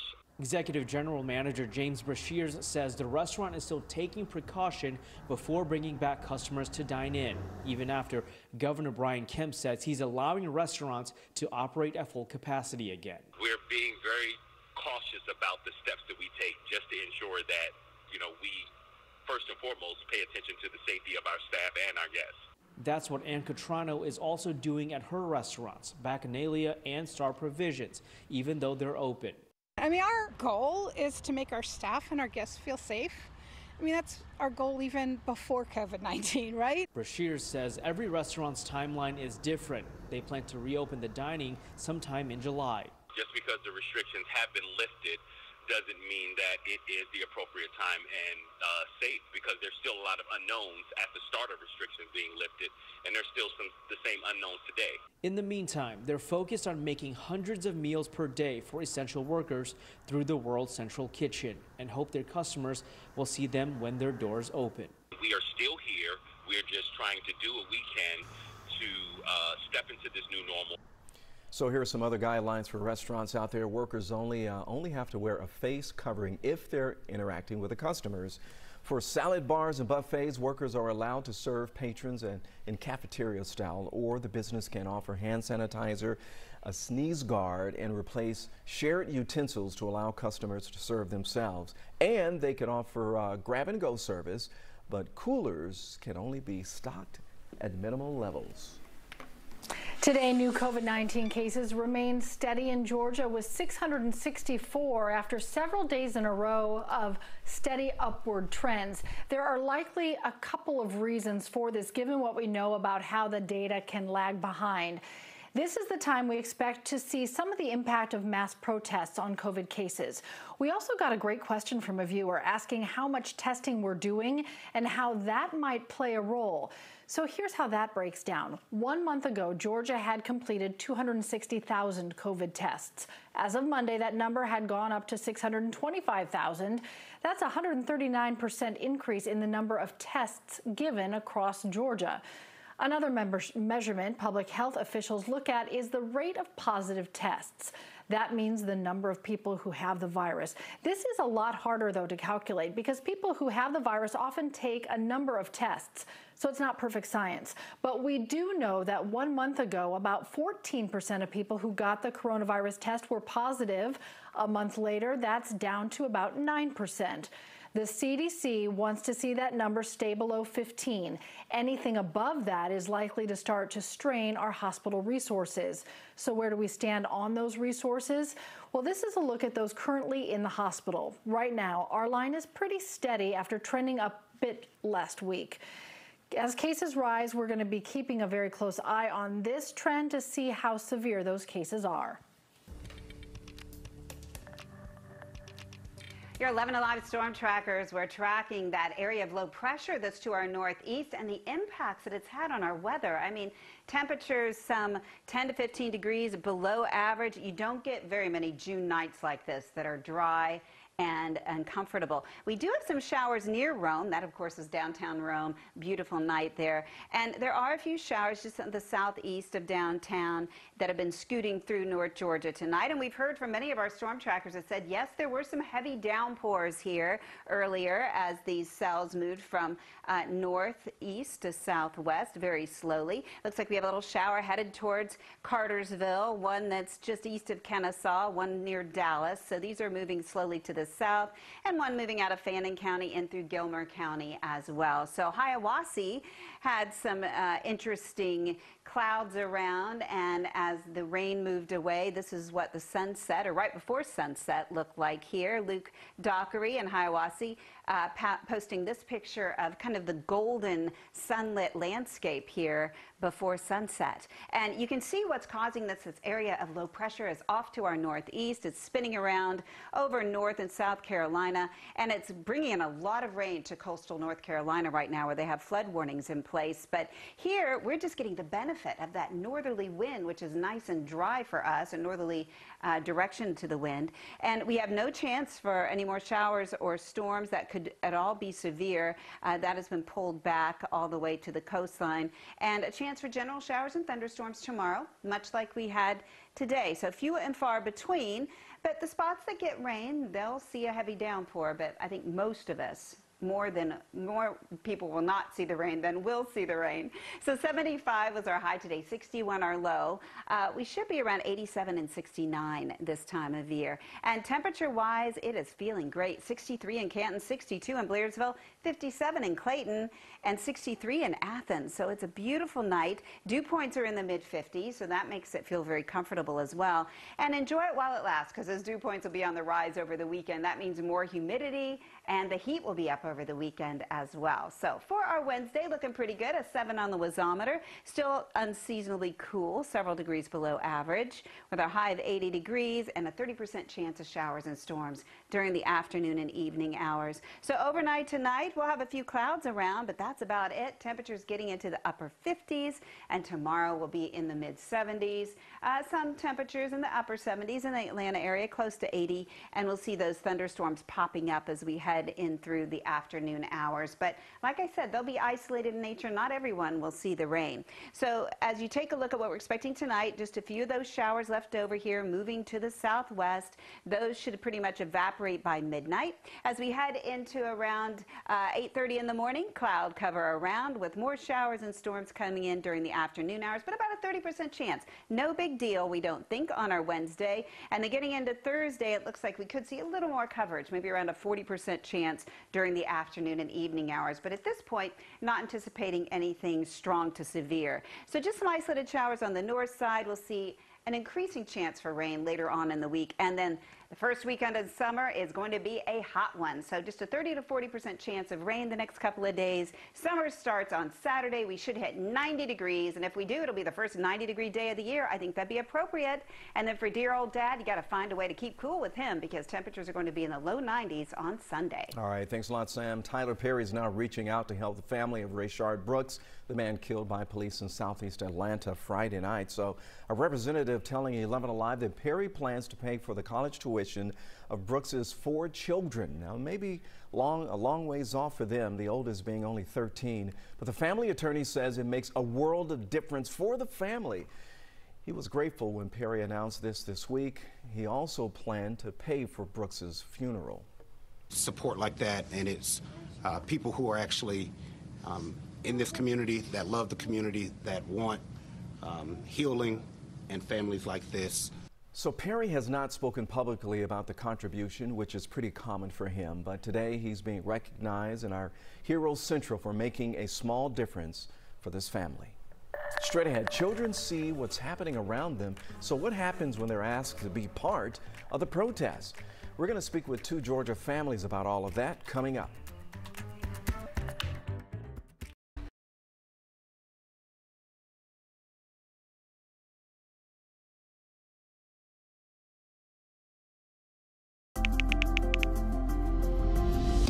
With a viral message going around. Quote, vast majority of people who died had ibuprofen Advil in their system. This message is fake. We just bought 20 dust masks for $97. Are you doing this to help people or are you doing this to make money or both? Both. Take this email sent to the Verify team. Is it safe to have your house cleaned by outside workers? The best practice is to limit guests to emergencies only.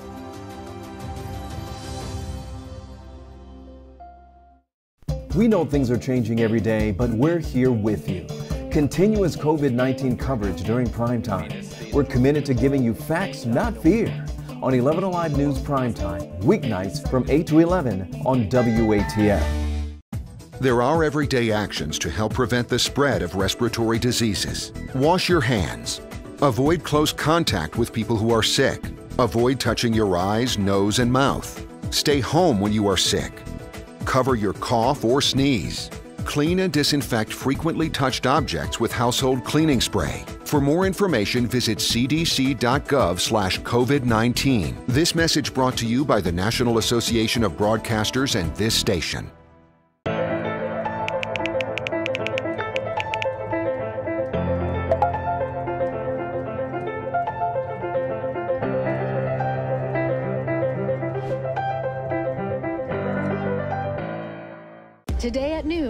11 Alive. We are seeing that lack of smell or altered taste can be a symptom. We answer your coronavirus related medical questions. Because 11 Alive is where Atlanta speaks. Televised newscasts not enough for you? Get even more at 11 Alive's YouTube channel, where you'll find uncut interviews, extended body cam footage, live streams of Atlanta's biggest trials, and more. Subscribe to 11 Alive today.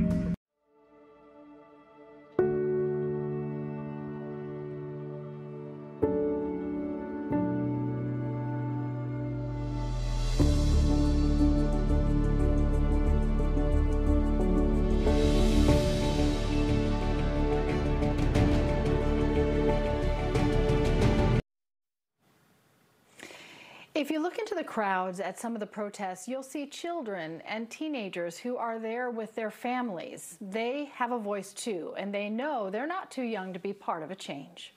They are children, well aware of the injustice around them. I hope that black people getting mistreated would stop. Young people who want to do something about it. It's good to stand up for your life.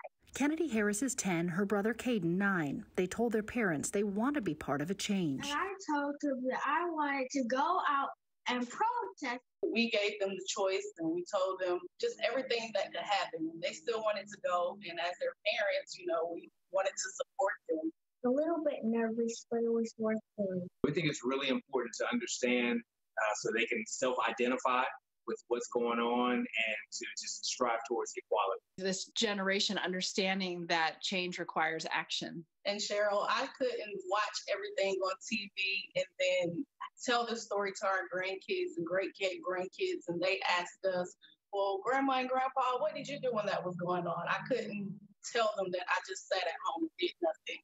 I think we need to change stuff right now to make a better world later on. 16 year old Whitaker Swan felt compelled. Saw what happened to George Floyd and said, I have to do something. He told his dad, Chris, he wanted to organize a protest in Sandy Springs. The unified people you have, you'd have black people, white people, men, women, people of the LGBTQIA plus community, everyone together.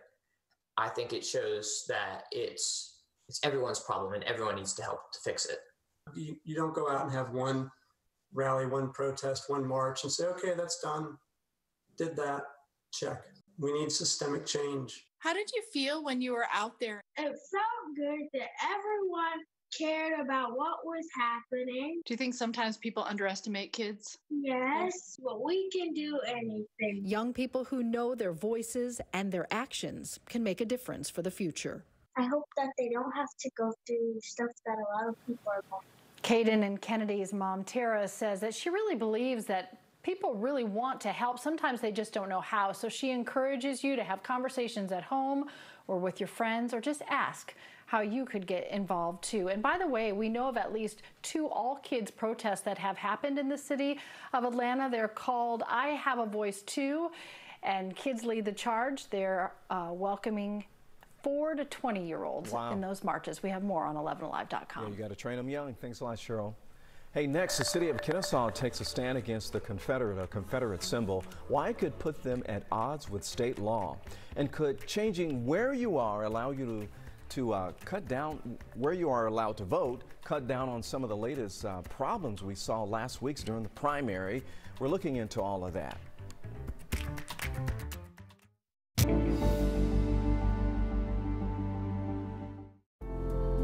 In times of great uncertainty, some things become more clear. The things we take for granted, the people we depend on daily.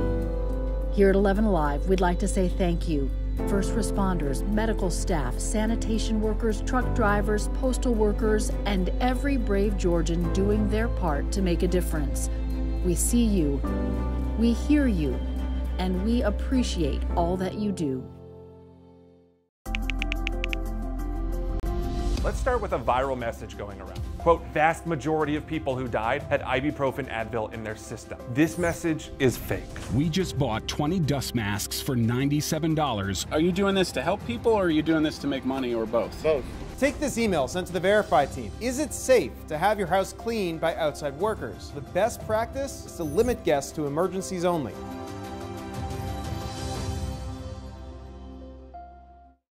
We know things are changing every day, but we're here with you. Continuous COVID 19 coverage during prime time. We're committed to giving you facts, not fear, on 11 Alive News Prime Time, weeknights from 8 to 11 on WATF. There are everyday actions to help prevent the spread of respiratory diseases. Wash your hands. Avoid close contact with people who are sick. Avoid touching your eyes, nose, and mouth. Stay home when you are sick cover your cough or sneeze.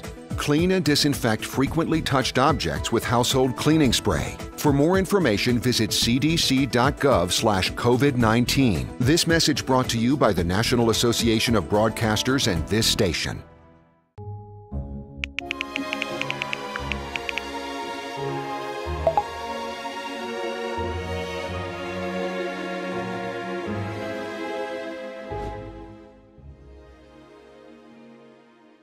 Today at noon on 11 Alive. We are seeing that lack of smell or altered taste can be a symptom. We answer your coronavirus related medical questions. Because 11 Alive is where Atlanta speaks. Televised newscasts not enough for you? Get even more at 11 Alive's YouTube channel, where you'll find uncut interviews, extended body cam footage, live streams of Atlanta's biggest trials, and more. Subscribe to 11 Alive today.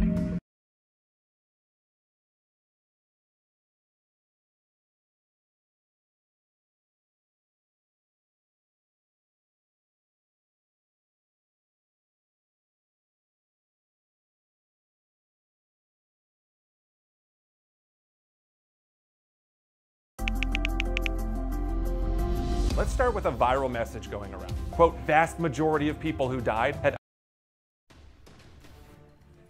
We all remember the video from a week ago. Voters stuck in long lines. Some of those voters, Ron, they had to wait for hours just to cast a ballot. It was absolutely insane for a lot of folks at the polls. So now some lawmakers have ideas on how to fix all of mm-hmm. that, but it's easier said than done. Doug Richards has more. State law requires Election Day voters to vote at their neighborhood precincts, which gave voters stuck in lines at this Southeast Atlanta library Four and a half hours, I believe. little choice but to stay in line or go home.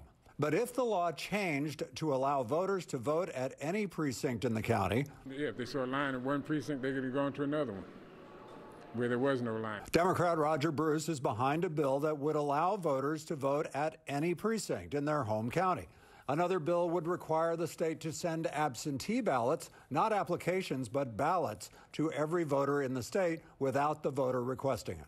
I tried to uh, get an absentee val- ballot. I- Last week in Fulton County, many voters waiting in lines complained that they'd never received the absentee ballots they had requested. If I send in an absentee ballot, I expect to get something in return, so I do not have to come out here and sit for two, three hours. You cast your ballot and you go home.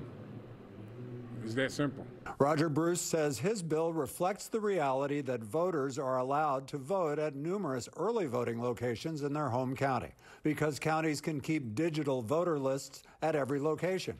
In Fulton County, it would have let these voters choose from 164 voting locations. They do it for early voting. It's in the system. So, I mean, I don't understand what the difference is between early voting and election day, other than people just don't want to do it. There is limited enthusiasm in the Capitol for Bruce's bill. Secretary of State Brad Raffensperger's office says it has no position on it, and Bruce's bill has stalled in a House committee for about the last 500 days.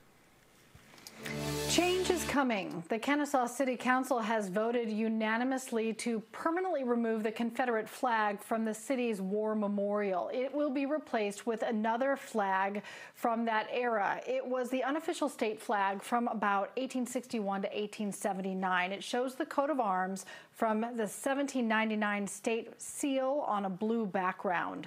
A previous petition to remove the flag got thousands of signatures, but that flag stayed up because of a state law that prohibits moving locations or the total removal of war memorials. The city council is hearing arguments from both sides last night. There's people that don't even come downtown because they don't want to see it. They don't want to deal with that hurt, that pain. History is not there for you to like or dislike. It's there for you to learn from it. The vote came during a packed council meeting, which was set up for social distancing. Still, the city could face legal action for the decision to bring the flag down. All right, Cheryl, let's get you caught up on some other local stories here, folks. Gwinnett County police are working to find out who shot and killed a woman in her Lawrenceville apartment. The victim is a 35 year old Shamika Bird. And investigators say that they think someone fired shots from outside, hitting the windows and the side of the apartment building. This all happened on Club Lakes Parkway. There were other people inside at the time, but no one else was hurt. The shooting left neighbors shaken.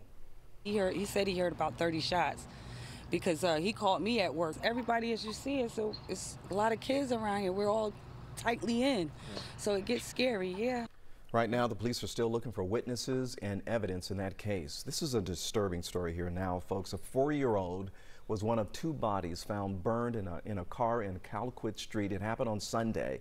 Douglasville police identified the bodies as 59-year-old LaWanda Barrows and four-year-old Layla Hobbs. Derek Hobbs has now been arrested and he's facing several charges, including two counts of felony murder. GBI investigators now say a shooting in Coweta County started with a high-speed chase involving the Georgia State Patrol. The trooper was pursuing a 25 year old man on a motorcycle last night in Newnan. Minutes later, officers found him inside a bail bonds business. This is all along Greison uh, Trail. They said it appears that he actually broke in to get in there. GBI says a Newnan officer warned other officers the suspect had a gun. Police say he didn't follow the commands and was shot in the leg, once in the leg while reaching for a weapon. The Johns Creek police chief is on administrative leave during an internal investigation. Chief Chris Byers was criticized recently for post on his personal Facebook page accusing some religious leaders of abandoning law enforcement after the death of George Floyd in Minneapolis. The city manager tells 11 Alive the internal investigation is not related to Byers' Facebook post. For now, uh, Major Roland Castro will lead the department. What would you ask the candidates to be the next chief of the Atlanta Police Department? That is the question we've been asking all day long into the evening on Facebook, and also asking that question to the leaders of the neighborhood associations that make up our city. Matt Pearl has a glimpse into what they found. Sohey Galbraith. J. Lawrence Miller. My name is Robin Jackson. I represent uh, Loring Heights. Adair Park. Castleberry Hill. I work downtown. Currently the president of the Atlanta Downtown Neighborhood Association. My one question would be What level of accountability will officers have to the citizenry? Would the new police chief have experience in uh, diversity. What I'm most interested in um, are those soft skills. Um, so, a deep seated um, sense of compassion. Are we asking too much of our uh, police forces? You know, part of it comes down to training, and you can't really train someone to be a social worker, you know, a, a, meter maid, a traffic officer all at the same time. How about the police department just says that our responsibility is public safety? We are really, really, really concerned about what they're going to do about homeless in downtown, the homeless people. We have always had a fantastic relationship with our police precincts. Um, especially zone five. We see them quite often directing traffic and also um, helping. There is no trust if a police officer comes to my door and I own my house, I'm not going to let him in. We often talk about order, but we forget that peace part. And I think peace is um, a large part of what we need right now. We've had that good relationship with the police in the past. However, I do think that there are structural issues that we've seen. That the overall system is in desperate need um, of reform and change. Every voice, every body, every home matters. It, it matters. There's certainly things to address and now seems to be a good time to do that. All right, straight ahead, more on the mounting pressure to break up the Capitol Hill organized protest where demonstrators have taken over six blocks of a Seattle neighborhood. Not as many storms and showers as we had yesterday, but still we have a few scooting through Cherokee County, in through Cobb County, moving to the south. So coming up where these are headed, what you can expect for tomorrow and for that first weekend of summer.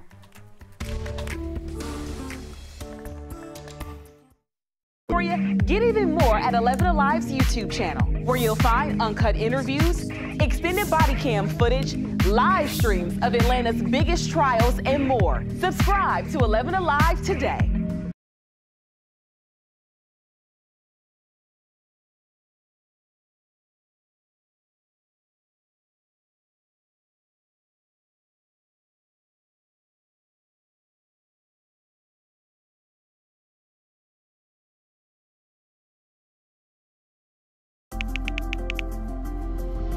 Let's start with a viral message going around. Quote, vast majority of people who died had ibuprofen Advil in their system. This message is fake.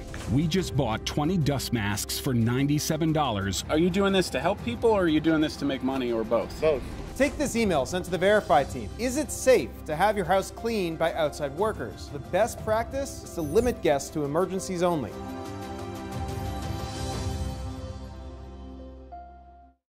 We know things are changing every day, but we're here with you. Continuous COVID 19 coverage during prime time. We're committed to giving you facts, not fear. On 11 Alive News Prime Time, weeknights from 8 to 11 on WATF. There are everyday actions to help prevent the spread of respiratory diseases. Wash your hands. Avoid close contact with people who are sick. Avoid touching your eyes, nose, and mouth. Stay home when you are sick. Cover your cough or sneeze. Clean and disinfect frequently touched objects with household cleaning spray. For more information, visit cdc.gov/covid19. This message brought to you by the National Association of Broadcasters and this station.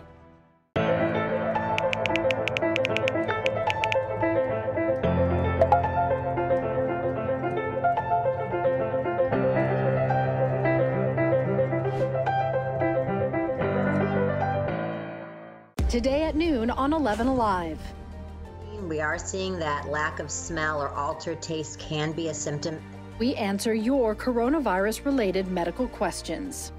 Because 11 Alive is where Atlanta speaks. Televised newscasts not enough for you? Get even more at 11 Alive's YouTube channel, where you'll find uncut interviews, extended body cam footage, live streams of Atlanta's biggest trials, and more. Subscribe to 11 Alive today.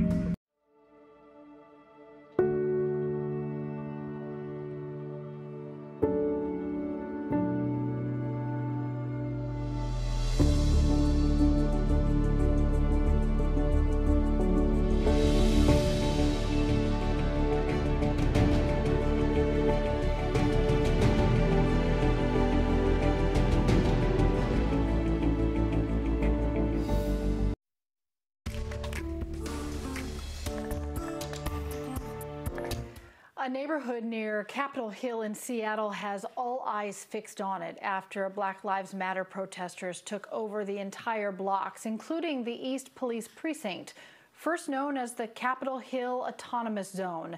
This sit in has a new name, and it comes with increasing pressure from the president and other politicians to break it up. NBC's Jo Ling Kent got a look inside. Seattle is on edge. Protesters showing no signs of leaving this six block area after taking it over a week ago.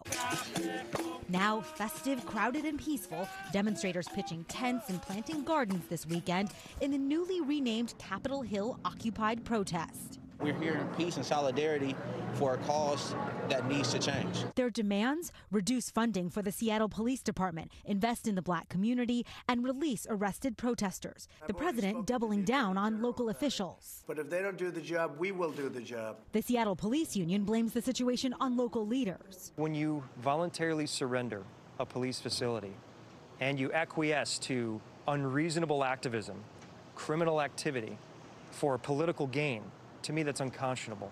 Mayor Jenny Durkan did not give specifics on what she'll do next. We're working with all people right now to move forward to find a way that we can accommodate First Amendment, but also make sure that we have a vital area for our businesses and residents. And since this occupied area spans several city blocks, police now say it takes three times longer to respond to 911 calls, putting even more pressure on leaders and protesters to resolve this as quickly as possible.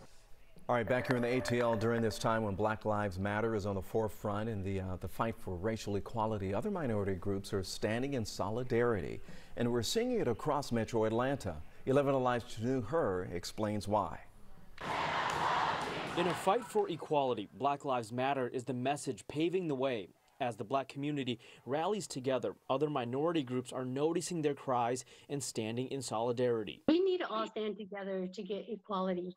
Zua Vang is a member of the Hmong Georgia Community, Inc., and she says she hopes other minorities see the big picture of this movement. What they're doing is not just to benefit the Black lives, but it is to benefit all minority groups. Numerous Asian American groups in and outside of Georgia signed this letter, saying in part, Today we call on our Asian American community to break that silence and commit to building solidarity with our black brothers and sisters.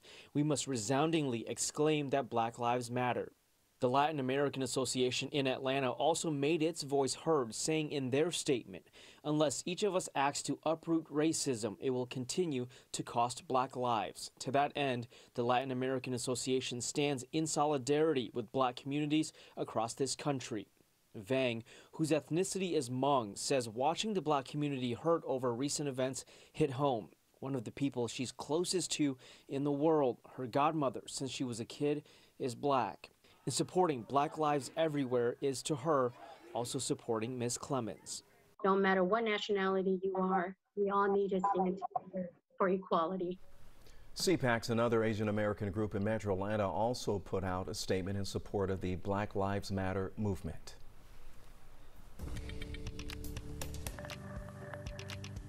Your 11 Alive Storm tracker is tracking an incredible pattern out there tonight. It feels so great. If you haven't been outside yet today, I'm sorry for you because it is just gorgeous out there and, and it just gives you a lot of energy because it's dry, it's crisp, it's lovely. And you can see even in the shot of downtown Newnan, things are calm and beautiful.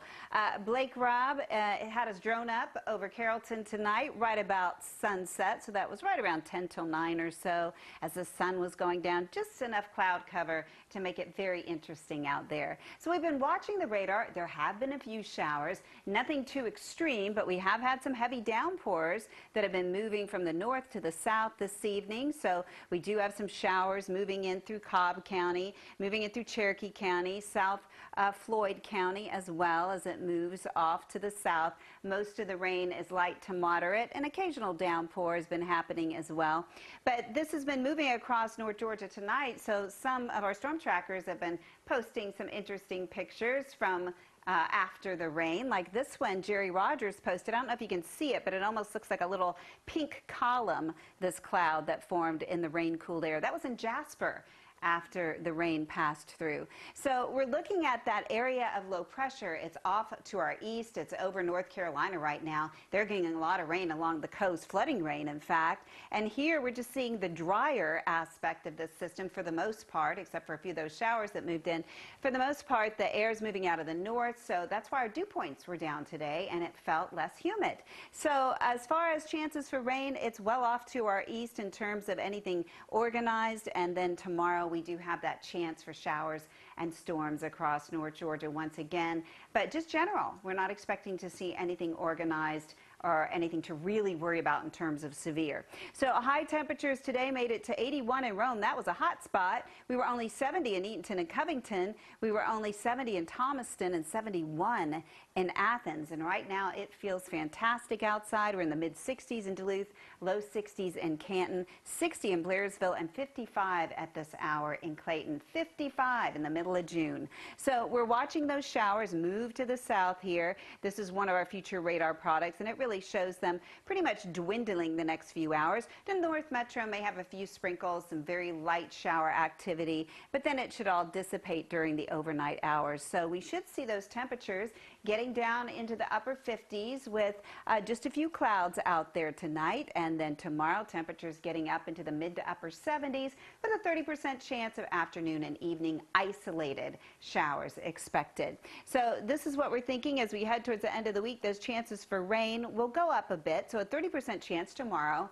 not a big deal. Going up to around a 40% chance as we head into Thursday, and that just is because we'll have a little more coverage as we head in through the afternoon and evening. And then it's looking like as that low, this is that same low that I was talking about, that upper level low, it's going to be spinning around off our coastline. In fact, the National Hurricane Center is watching it, giving it a 10% chance that it could develop into something tropical. Right now, it doesn't look too likely, but we'll be keeping our eye on it here, and it could be whipping up the surf along the Georgia and the Carolina coast as we head towards this coming weekend. And I think we'll see more widespread rain as we head through Friday afternoon and evening, and then we dry it out for the first day of summer.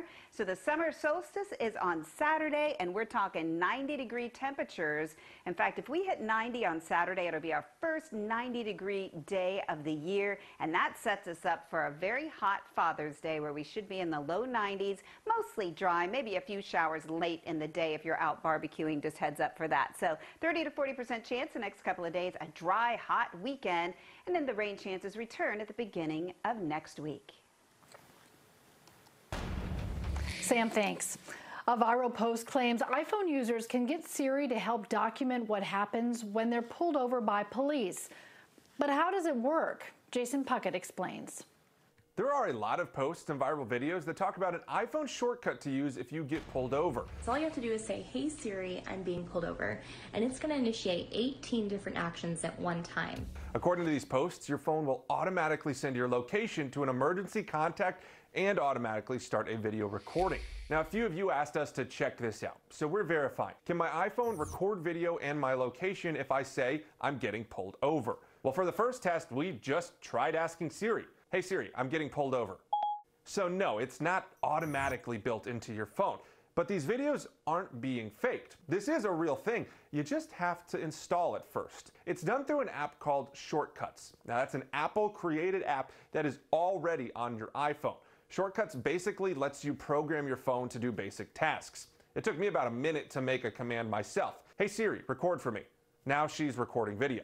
The viral shortcut is called Police. It was shared by a Reddit user in 2018. When you tell Siri, I'm getting pulled over, it turns down your volume, lowers your brightness, sends your location to an emergency contact, starts recording video, and uploads that video to your iCloud account. So does it work? Hey Siri, I'm getting pulled over.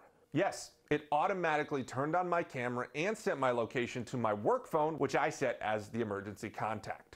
So we can verify. iPhones can record video and my location if I say I'm getting pulled over, but it is not automatically built in. You do have to install that specific shortcut. Now again, this isn't a new program or app, it's just instructions for your iPhone. And it lets you choose which contacts, if any, that it will send information to. This doesn't work on Android phones, but iPhone users can find a link for how to install this on our website. And if you have other questions like this, make sure you send us an email. Avoid touching your eyes, nose, and mouth. Stay home when you are sick. Cover your cough or sneeze. Clean and disinfect frequently touched objects with household cleaning spray. For more information, visit cdc.gov slash COVID-19. This message brought to you by the National Association of Broadcasters and this station.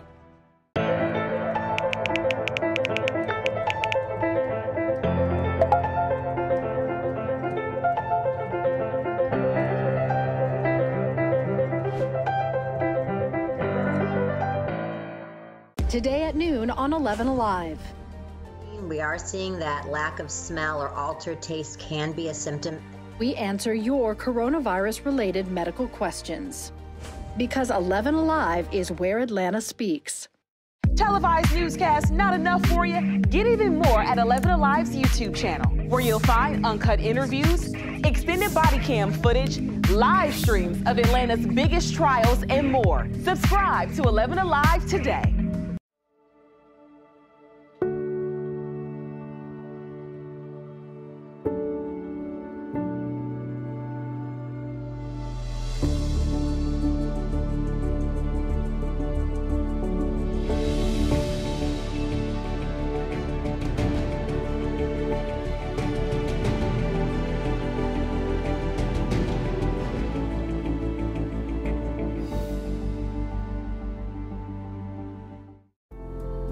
In times of great uncertainty, some things become more clear. The things we take for granted, the people we depend on daily. Here at 11 Alive, we'd like to say thank you. First responders, medical staff, sanitation workers, truck drivers, postal workers, and every brave Georgian doing their part to make a difference. We see you, we hear you, and we appreciate all that you do. Let's start with a viral message going around. Quote, vast majority of people who died had ibuprofen Advil in their system. This message is fake. We just bought 20 dust masks for $97. Are you doing this to help people or are you doing this to make money or both? Both. Take this email sent to the Verify team. Is it safe to have your house cleaned by outside workers? The best practice is to limit guests to emergencies only.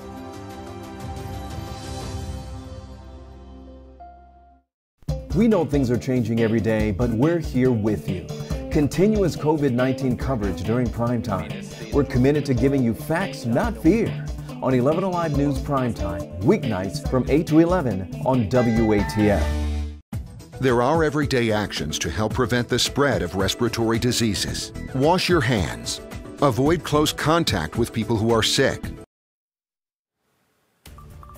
Today, Governor Kemp announced 100% of nursing home residents in facilities with 25 or more beds have now been tested for COVID 19. And that news is leading to some long awaited, very happy reunions. Last month, we told you about the staff at Park Springs Senior Living in Stone Mountain. More than 70 staffers had volunteered to stay with residents throughout the pandemic, living in lockdown alongside the people they care for. So they've been separated from their own families. They haven't spent time with their kids or their spouses since March, but that ended when the state shelter in place order lifted. So thank you to this group that did not have to make that sacrifice, but chose to, to protect all the seniors that they care for. Just showing how passionate they are about their job. All right, thanks a lot, Cheryl. Hey, we got more news straight ahead on right here on the ATL. Me and Aisha is going to be back in just a, a couple of minutes.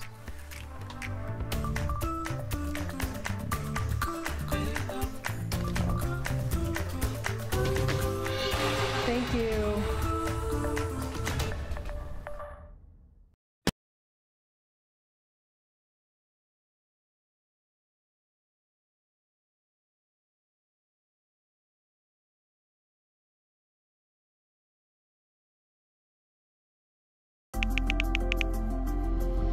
Let's start with a viral message going around. Quote, vast majority of people who died had ibuprofen Advil in their system. This message is fake. We just bought 20 dust masks for $97. Are you doing this to help people or are you doing this to make money or both? Both. Take this email sent to the Verify team. Is it safe to have your house cleaned by outside workers? The best practice is to limit guests to emergencies only.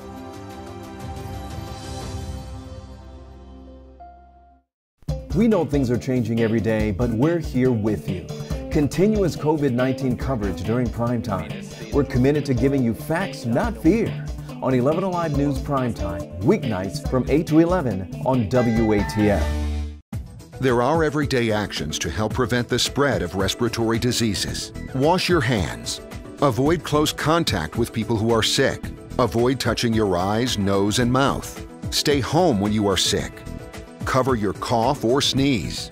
Clean and disinfect frequently touched objects with household cleaning spray. For more information, visit cdc.gov/covid19. This message brought to you by the National Association of Broadcasters and this station.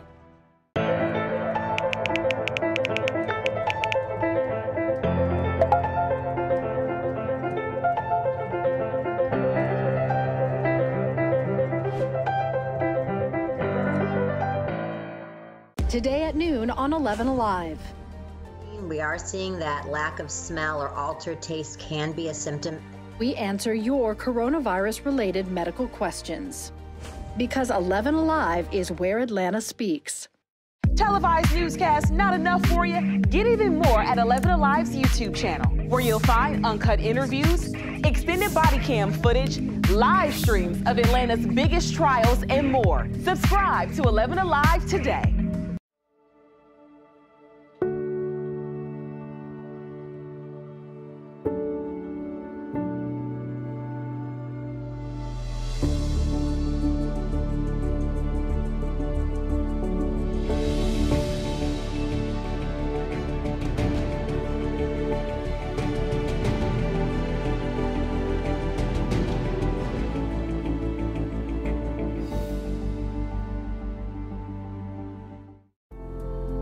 In times of great uncertainty, some things become more clear.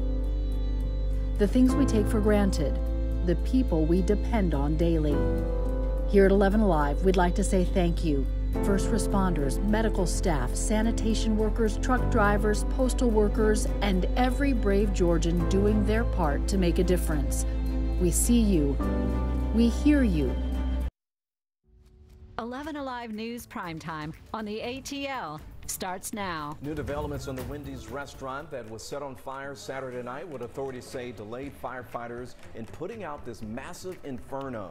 And an officer's confrontation with a group of teens goes viral tonight. One of the teenagers speaks out. Plus, the new phenomenon psychologists say they're seeing as more COVID 19 restrictions are lifted. Tonight, we are learning more about what first responders encountered Saturday night in southeast Atlanta when a Wendy's restaurant was set on fire. Natisha Lance is live at Fire Station 20, which responded to that fire, Natisha. Well, Aisha, the scene outside the Wendy's on University Avenue, which is just about a little more than a mile away from here, was so tight that it stopped fire crews coming from this fire station, Fire Station 20, right in their tracks, delaying the time it took them to fight the blaze. But upon our arrival, uh, we were met by a crowd of um, protesters. For 30 minutes, firefighters say they were trapped, surrounded by demonstrators about 100 feet away from the growing fire. It's a helpless feeling. Yeah. We didn't like we don't like that. Firefighters say they felt safe inside their fire engine as water bottles, beer cans, and other items were thrown at them. Investigators are now looking for some of those people who stopped the engine's progress and those who started the fire. Multiple suspects at this time. We've only got quality photos of two at this time. Atlanta Fire released photos of the newest suspect today. This was taken from surveillance video at the BP gas station next to the Wendy's. Fire investigators are working to determine if the person was working with other suspects, one whose photo was released by APD last week. The fire was started in multiple locations using multiple different incendiary devices, um, from homemade blowtorches to fireworks. Investigators say they are using multiple sources, including tips and social media, to find all the arson suspects. We don't want to allow the peaceful voices and focus of our protesters to be overshadowed by events such as this And now there's a $20,000 reward that is being offered by Crime Stoppers as well as the Georgia Arson Control Board for any information that leads to the prosecution of those who are involved. All right, thanks a lot, Natisha. Tonight, community activists in Clayton County demanding change after a police encounter goes viral. The video uploaded to Facebook shows a police officer holding five teenage boys at gunpoint. Here's the video here, already viewed more than a half million times. It happened last evening. Today, Clayton County Police released a 911 call from a nearby gas station. Someone reported teenagers stealing items and waving a gun around. In a police report, the officer said that he pulled his gun as he believed one of the teens may have been armed. The boys eventually were released after uh, police did not find any weapons on them. One of the young boys talked this afternoon at a news conference. I thought I was going to die because I seen all these black kids just dying. And, and to have myself in that, it was just crazy. Now, Clayton County Police say they did find a BB gun. There it is on your screen. It resembles a pistol. It was at the gas station or by the gas station. Now, community activists want police to change their use of force policy, and they're also calling for the officer who pulled the gun to be fired. Right now, Metro Atlanta and across the nation, there is a push to improve policing standards. Earlier today, people marched for police reform in Stone Mountain. This comes following the shooting death of Rayshard Brooks in southeast Atlanta. Today, President Trump took a step to address police brutality nationwide with a new executive order. The order creates a national database of excessive force complaints, puts grant money toward helping departments reach use of force certification, and launches a program to partner social workers with police on calls involving homelessness or mental health issues. Still, the president opposes calls to defund police departments. Americans know the truth. Without police, there is chaos. Without law, there is anarchy. And without safety, there is catastrophe. The police union says Atlanta officers are feeling the pressure of responding to protests, working extra shifts, and being at the center of nationwide criticism. According to the department, eight officers have resigned since the first of this month. Many are saying that they are angry with the mayor and attorney general, rushing to judgment about recent use of force cases where officers were fired and sometimes charged. The Atlanta Police Foundation says morale is lower than any other time in recent memory, with officers working 12 hour shifts seven days a week. Last night, members of the Atlanta City Council were in a meeting until almost 1 in the morning listening to concerns about the community and the relationship with the police department. Our reporter Joe Henke counted almost 500 comments, and Councilmember Joyce Sheperd says the goal right now is a complete transformation of the Atlanta Police Department. So a lot of time police are called just specifically when things happen and say, I got this problem, that problem. When we talk about community policing, that's folks interacting on a regular basis with officers. So it's not just when there's a call made, but that's folks creating relationships where the community see the police officers and they don't see them as a threat. They don't see them something that's being called when there is a crisis. And so we have to really do a better job of community policing. Councilmember Sheperd says that she's hoping to uh, keep open communication even after protesters stop marching and demonstrating. As for finding a new Atlanta police chief, she's looking for someone with a different perspective who can connect with the community. Demonstrators here and across the country are demanding that cities start reducing police budgets in order to spend more money on social programs that could prevent crime. They call it defunding police. And that's just what is on the table in Athens, Clarke County right now, with a vote possible next week. And tonight, crowds had a lot to say to the commissioners. 11 Alive Jon Shirek is in Athens at the City Hall for us tonight. Athens, Clarke County, home of UGA, with some of the most progressive residents and politicians in Georgia. But the crowds who showed up at City Hall were divided about the proposal to defund police. Loud, peaceful, dueling rallies outside Athens City Hall. Two crowds waiting to speak with commissioners about the proposal to reduce the Athens Clarke County police budget in order to spend more on social programs passionate opposition and support. Inside, only four people allowed in the meeting at a time to address the commissioners on the screen.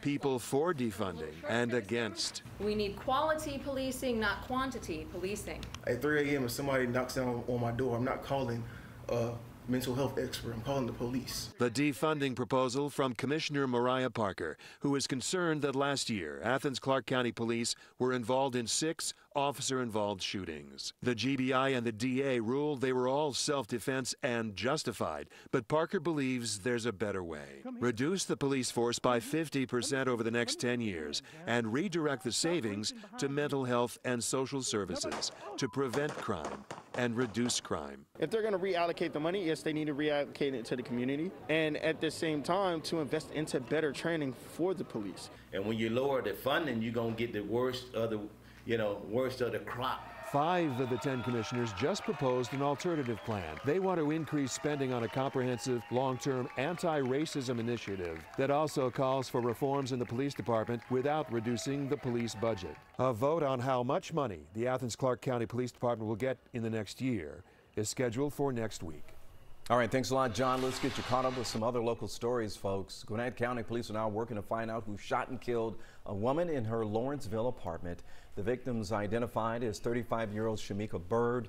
Investigators think someone fired shots from outside, hitting the windows and the side of the apartment building. This all happened on Club Lakes Parkway. There were other people inside, but there were no one else was hurt. The shooting left the neighbors shaken. He, heard, he said he heard about 30 shots because uh, he called me at work. Everybody, as you see, it's a, it's a lot of kids around here. We're all tightly in, so it gets scary, yeah.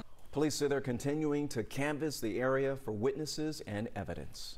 A four-year-old was one of two bodies found in a burned-out car on Colquitt Street Sunday. Douglasville police identified the bodies as 59-year-old LaWanda Barrows and four-year-old Layla Hobbs. Derek Hobbs has been arrested and is facing several charges, including two counts of felony murder.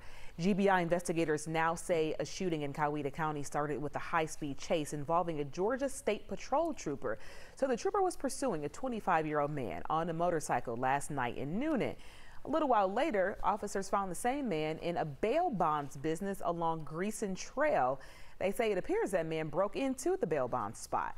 GBI says a Newnan officer warned other officers the suspect had a gun.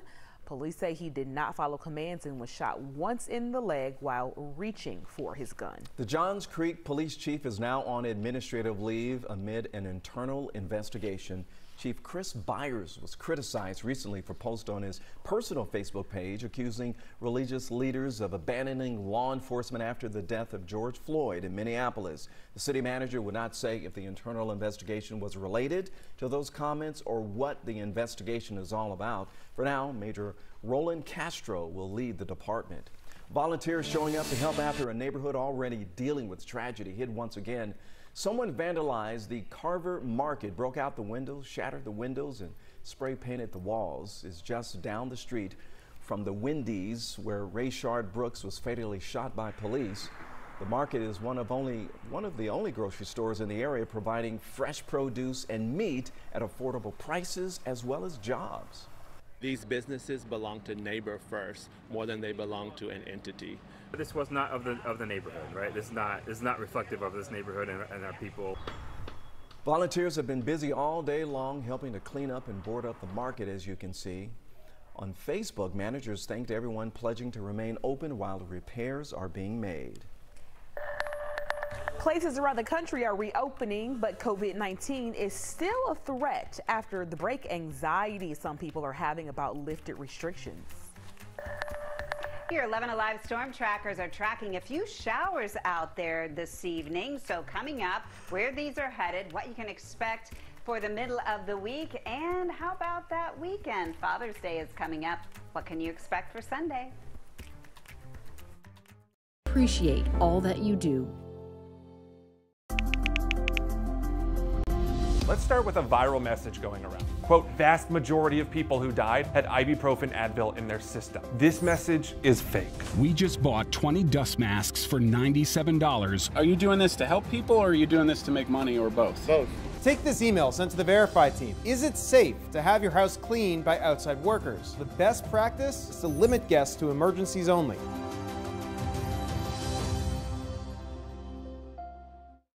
We know things are changing every day, but we're here with you. Continuous COVID 19 coverage during prime time. We're committed to giving you facts, not fear. On 11 Alive News Prime Time, weeknights from 8 to 11 on WATL. There are everyday actions to help prevent the spread of respiratory diseases. Wash your hands. Avoid close contact with people who are sick. Avoid touching your eyes, nose, and mouth. Stay home when you are sick. Cover your cough or sneeze. Clean and disinfect frequently touched objects with household cleaning spray. For more information, visit cdc.gov/covid19. This message brought to you by the National Association of Broadcasters and this station.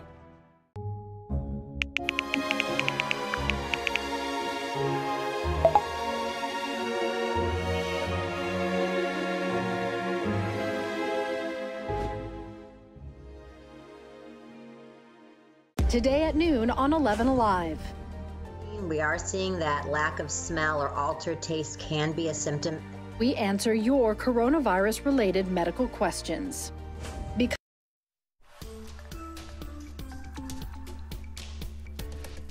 More people are coming out of their homes as some COVID-19 restrictions are lifted. It's exciting for some people, but for others, it can be challenging. Our Elwin Lopez looks into what psychologists call a phenomenon.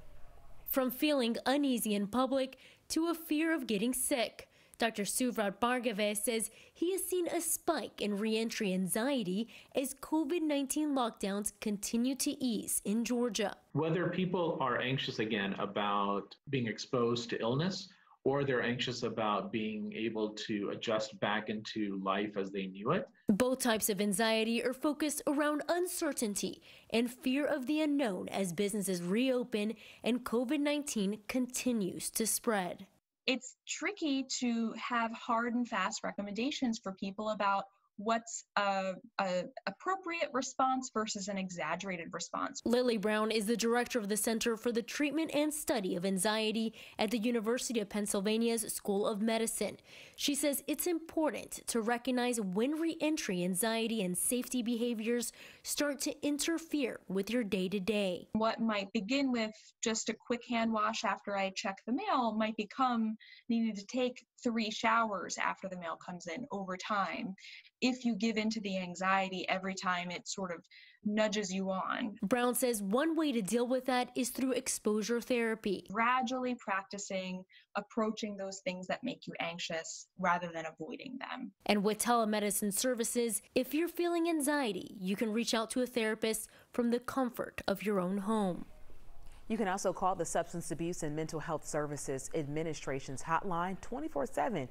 You can find the number at the bottom of your screen. That's 1 800 662 4357. All right, right now, new COVID 19 cases remain steady in our state of Georgia with 664 after several days in a row of upward trends. Now, it's likely there are a few reasons for this, right? Given what we know about the, uh, the data that lags behind, this is the time we expect to see some of the impact from the mass protest on COVID 19 cases. We also got a great question from a viewer asking, how much testing are we doing? and how that might play a role. So here's a breakdown of all of that. A month ago, Georgia had completed 260,000 COVID 19 tests. As of Monday, that number had risen to 625,000. That is a 139% increase in the number of tests administered across Georgia. Another measurement Another measurement public health officials look at is the rate of positive tests. That means the number of people who actually have the virus. This is a lot harder to calculate here because people who have the virus often take multiple tests. So it's not a perfect science here, but we do know that one month ago, about 14% of the people who got the coronavirus tests were positive. A month later, that's now down about 9%. The CDC uh, wants to see that number below 15. Anything above that is likely to start to strain our hospital resources. So, where are we on the hospital resources right now? This is a look at, at the current situation with our hospitals. Right now, our line is pretty steady after trending up a little bit last week. As cases rise, we're going to be keeping a close eye on this to see how severe they actually are. Cooler temperatures today and a slight chance for showers this week. Meteorologist Samantha Mohr is in with us this week and joins us now with the forecast. Hi, Sam. Hey, Aisha, boy, what a day it was. Incredible. And it's a nice night, too, out here in Rome. Quiet downtown right now. Breezes picking up a little bit out of the north, and we saw a few showers kind of scoot right by in southeastern Floyd County, uh, southeast of Rome, and now continuing their move to the south here. So we have a few showers in Cherokee County, Cobb County, stretching on over towards Carroll County. Very light stuff. There were some decent downpours earlier, though, in uh, some of our storm trackers reporting as these moved through and through Hiawassee and Jasper. We had reports of some decent downpours. Luke Dockery uh, posting this picture at sunset as the clouds were breaking and the sun was shining down, made the ground look golden here. It was a really nice shot, Luke. Thank you for posting that on our Storm Tracker Facebook page. So we're looking at this area of low pressure. It's really been bringing in heavy rain here across the Carolinas. And you talk about cool. Charlotte was 61 61 degrees for a high temperature today. That was a new record low high for them, cool high for them. Incredible. And uh, that low pressure system will keep them cool again tomorrow. And it's also going to keep us a little unsettled at times as we head through the afternoon and evening. So we do have a chance for general showers and thunderstorms. Right now, not expecting anything organized in terms of severe. If that changes, we'll let you know. But right now, we do believe it's not going to be warming up that much where we will see widespread severe. So that's what we're banking on. 75 degrees for our high today, 61 our low. So that was well below the average of 87 and 69 for the date. So we're definitely running on the cool side. Not as cool as Charlotte, but feeling really good out there. So we're at 54 right now in Clayton, 60 in Blairsville, 60 in Gainesville. It is a lovely night out there, 66 in Atlanta, 65 in Carrollton. And we're going to continue to see these showers work their way to the south. They should dissipate after midnight, maybe a few sprinkles here on the north side of the metro as we head into the early morning hours. So overnight will be mostly clear. There'll be some clouds out there, but uh, for the most part, we'll see some uh, clear, starry skies at times. And then tomorrow, mostly sunny by mid morning. During your break, we should be in the mid 60s. By lunchtime, if you're taking your lunch in the backyard, right around 73 degrees.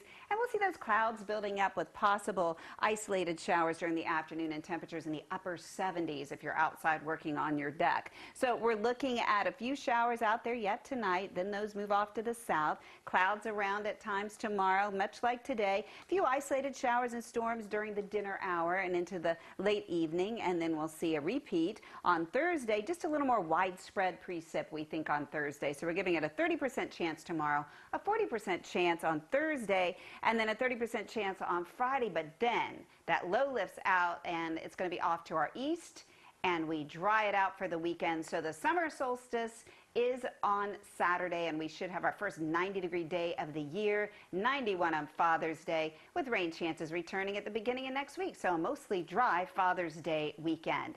Hey, check out this weather wow moment from Tommy Meyer. He is one of our storm trackers, and he posted this picture this incredible sunset over Lake Lanier. Nice job, as usual, Tommy. Look at those colors, just vibrant. So, if you'd like to be an 11 Alive Storm Tracker, we'd love to have you. Go to our 11 Alive Storm Tracker Facebook page and sign up. We'll approve you, and hopefully we'll see your work right here on 11 Alive. Straight ahead, movie mogul Tyler Perry's generous donation to help out the family of Rayshard Brooks. Home when you are sick. Cover your cough or sneeze. Clean and disinfect frequently touched objects with household cleaning spray. For more information, visit cdc.gov slash COVID-19. This message brought to you by the National Association of Broadcasters and this station.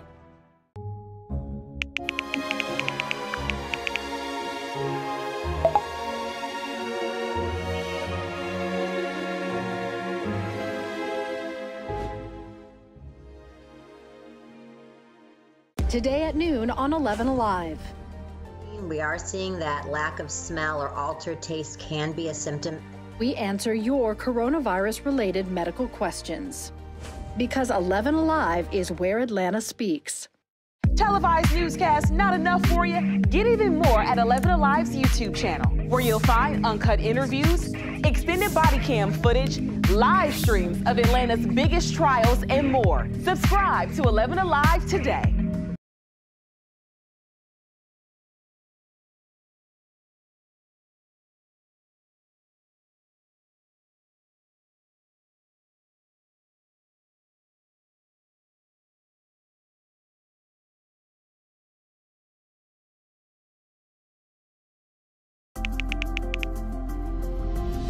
Start with a viral message going around. Quote, vast majority of people who died had ibuprofen Advil in their system. This message is fake. We just bought 20 dust masks for $97. Are you doing this to help people or are you doing this to make money or both? Both. Take this email sent to the Verify team. Is it safe to have your house cleaned by outside workers? The best practice is to limit guests to emergencies only.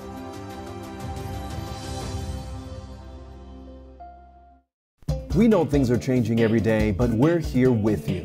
Continuous COVID 19 coverage during prime time. We're committed to giving you facts, not fear. On 11 Alive News Prime Time, weeknights from 8 to 11 on WATL. There are everyday actions to help prevent the spread of respiratory diseases. Wash your hands. Avoid close contact with people who are sick. Avoid touching your eyes, nose, and mouth. Stay home when you are sick. Cover your cough or sneeze. Clean and disinfect frequently touched objects with household cleaning spray. For more information, visit cdc.gov/covid19. This message brought to you by the National Association of Tyler Perry is now reaching out to help the family of Rayshard Brooks, the man killed by police in southeast Atlanta Friday night. A representative telling 11 Alive that Perry plans to pay for the college tuition of Brooks's four children. It may be a way off because uh, the oldest being just 13 years old, but the family attorney says it makes a world of difference for the family. He was grateful when Perry announced that this week that he planned to pay for Brooks's funeral. Support like that, and it's uh, people who are actually um, in this community that love the community that want um, healing and families like this. You know, Perry hasn't uh, spoken publicly about the contribution, which is pretty common for him, but today he's being recognized for making a, a small difference for this family. All right, Aisha, I'm going to be heading out to get ready for Up Late. It's going to be coming up in about 30 minutes on 11 Alive. So if you're up late, folks, with us, check us out, me and Aisha. All right, Ron, I'll see you coming up in about 35 minutes on 11 Alive. All right, so here's what's coming up on the ATL. Could changing where we're allowed to vote cut down on some of the issues we saw in last week's primary? We're going to check it out.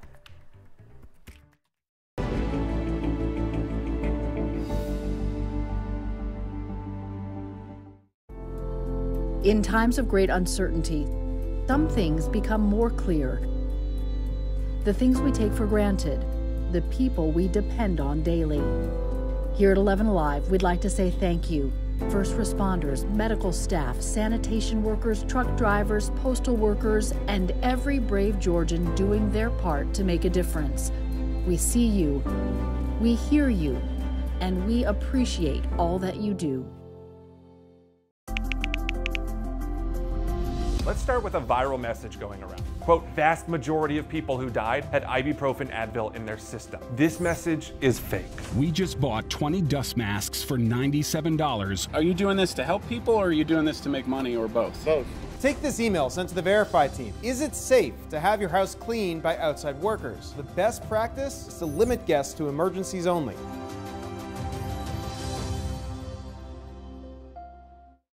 We know things are changing every day, but we're here with you.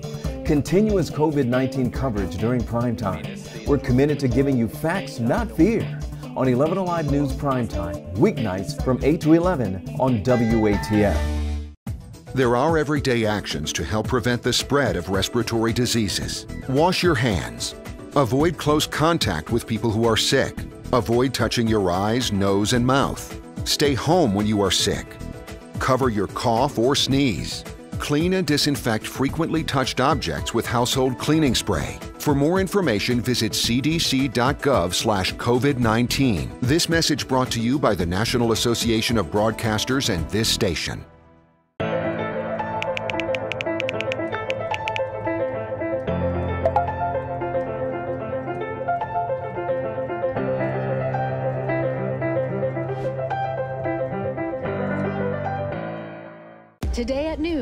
11 Alive. We are seeing that lack of smell or altered taste can be a symptom. We answer your coronavirus related medical questions. Because 11 Alive is where Atlanta speaks. Televised newscasts not enough for you? Get even more at 11 Alive's YouTube channel, where you'll find uncut interviews, extended body cam footage, live streams of Atlanta's biggest trials, and more. Subscribe to 11 Alive today.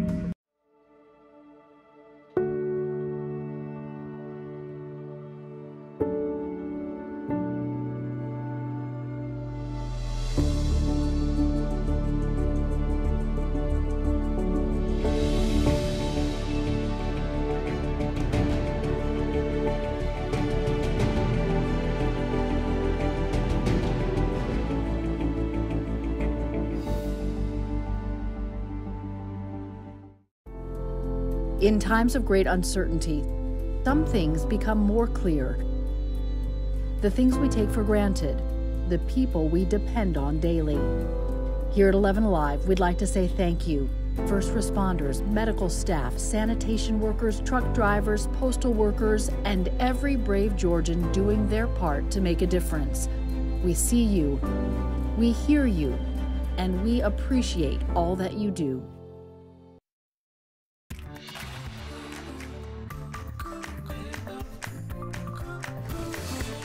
Atlanta police fired Garrett Rolfe within 24 hours of the shooting of Rayshard Brooks last Friday night. 11 Alive Chief Investigator Brendan Keefe discovered that this is not the first time the police department had to investigate the now former officer for improper use of force involving a firearm. Hey, Mr. Brooks. Two lives are about to change forever. How you doing? Hey, I'm Officer Rolfe of the Atlanta Police Department. How you doing? 26 minutes after Officer Garrett Rolfe started a DUI investigation of Rayshard Brooks in the Wendy's parking lot, Put your hands behind your back.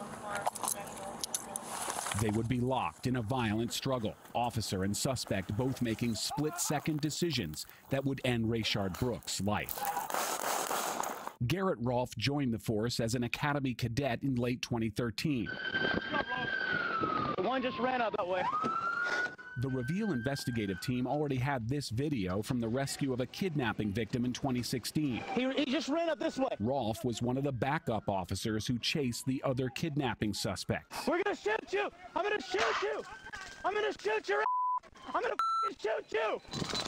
He fired his taser but missed. In this incident, all the suspects were successfully captured and convicted, and there were no allegations of wrongdoing on the part of Officer Rolfe. But he was investigated by the APD Office of Professional Standards 12 times, according to a summary released by the department. Four of them complaints filed by citizens against Officer Rolfe between 2015 and 2018. One citizen complaint was not sustained, and he was completely exonerated in the other three. In October of 2017, APD issued a written reprimand to Officer Rolfe after Internal Affairs sustained an allegation of improper use of force involving a firearm. We don't know any of the details of these internal investigations yet because Atlanta police have so far released only a summary of Rolfe's disciplinary record. Found him passed out in the.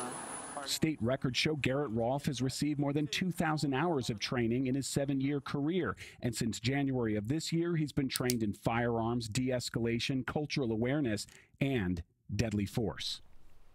At this point, Officer Rolfe is not charged in the shooting at Wendy's last Friday. Fulton County District Attorney Paul Howard says he could make a decision as early as tomorrow. His office told us the three charges they're considering are murder, which would be the most serious, felony murder, and voluntary manslaughter, which would be the least serious today. We spoke to criminal defense attorney Bill McKinney about the case. He is not representing the officer, but used to be an officer in New York and served as a legal advisor to the Atlanta Police Department. He says in his experience, even the voluntary manslaughter would be hard to argue, and he questions how quickly the possible charges will be announced. In, in 40 years, I've never seen a jump to judgment this quickly. Uh, normally takes weeks and months uh, by GBI investigators, uh, internal affairs from the police department, uh, and even outside agencies to, to look at this before they make any type of judgment, whether it's criminal, as opposed to something that could be civil or disciplinary. He says Howard has argued in other cases against officers that a taser is a deadly weapon, which could potentially open the door for Rolfe to argue self-defense if he is in fact charged. Now to the push for voting solutions in Georgia. We all remember the video from one week ago. Voters stuck in those long lines, sometimes for hours. Some lawmakers have ideas on how to fix that, but it is much easier said than done. Doug Richards has more. State law requires Election Day voters to vote at their neighborhood precincts, which gave voters stuck in lines at this Southeast Atlanta library four and a half hours, I believe. little choice but to stay in line or go home. But if the law changed to allow voters to vote at any precinct in the county, Yeah, if they saw a line in one precinct, they could have gone to another one where there was no line. Democrat Roger Bruce is behind a bill that would allow voters to vote at any precinct in their home county. Another bill would require the state to send absentee ballots, not applications, but ballots, to every voter in the state without the voter requesting it. I tried to uh, get an absentee ball- ballot. I- Last week in Fulton County, many voters waiting in lines complained that they'd never received the absentee ballots they had requested. If I send in an absentee ballot, I expect to get something in return, so I do not have to come out here and sit for two, three hours. You cast your ballot and you go home. It's that simple. Roger Bruce says his bill reflects the reality that voters are allowed to vote at numerous early voting locations in their home county because counties can keep digital voter lists at every location. In Fulton County, it would have let these voters choose from 164 voting locations. They do it for early voting. It's in the system. So, I mean, I don't understand what the difference is between early voting and election day, other than people just don't want to do it. There is limited enthusiasm in the Capitol for Bruce's bill. Secretary of State Brad Raffensperger's office says it has no position on it, and Bruce's bill has stalled in a House committee for about the last 500 days. And that was our Doug Richards reporting. So we actually uh, have more questions about that, about how you can check to see if your absentee ballot was actually counted in the primary. You can check out our article on 11alive.com that walks you through that process. Well, change is coming. The Kennesaw City Council has voted unanimously to permanently remove the Confederate flag from the city's war memorial. It will be replaced by this flag. It was the unofficial state flag from around 1861 to 1879 showing the coat of arms from the 1799 state seal on a blue background. A previous petition to remove the flag got thousands of signatures, but the flag remained due to a state law that prohibits moving locations or total removal of war memorials. The city council hearing argues from both sides last night. There's people that don't even come downtown because they don't want to see it. They don't want to deal with that hurt, that pain. History is not there for you to like or dislike. It's there for you to learn from it. The vote came during a packed city council meeting, which was set up for social distancing. Still, the city could face legal action for this decision. Well, what would you ask the candidates to be the next chief of the Atlanta Police Department? That is the question we've been asking all day on Facebook and to the leaders of the neighborhood associations that make up our city. Matt Pro has a glimpse of what we found. Sohei Galbraith. J. Lawrence Miller. My name is Robin Jackson. I represent uh, Loring Heights. Adair Park. Castleberry Hill. I work downtown. Currently the president of the Atlanta Downtown Neighborhood Association. My one question would be What level of accountability will officers have to the citizenry? Would the new police chief have experience in uh, diversity? What I'm most interested in um, are those soft skills. Um, so, a deep seated um, sense of compassion. Are we asking too much of our uh, police forces? You know, part of it comes down to training, and you can't really train someone to be a social worker, you know, a, a, meter maid, a traffic officer all at the same time. How about the police department just says that our responsibility is public safety? We are really, really, really concerned about what they're going to do about homeless in downtown, the homeless people. We have always had a fantastic relationship with our police precincts. Um, especially zone five. We see them quite often directing traffic and also um, helping. There is no trust if a police officer comes to my door and I own my house, I'm not going to let him in. We often talk about order, but we forget that peace part. And I think peace is um, a large part of what we need right now. We've had that good relationship with the police in the past. However, I do think that there are structural issues that we've seen. That the overall system is in desperate need um, of reform and change. Every voice, every body, every home matters. It, it matters. There's certainly things to address and now seems to be a good time to do that. In a statement from Courtney Smith, head of the Midtown Neighbors Association, she says the focus must remain on areas of the city with the greatest immediately immediate need, writing, quote, our neighboring communities that are struggling are depending on us to listen and stand ready to collaborate. We want to hear from you. What are you looking for in a new police chief? Give us a call, 678 765 9514. Leave us a voicemail. Be sure to include your name and the best way for us to contact you because we might use your message on air. More coronavirus restrictions ease today. There is no longer a limit on the number of diners allowed inside restaurants, but as many owners told Tracey Amick Peer, they're still not back to normal yet.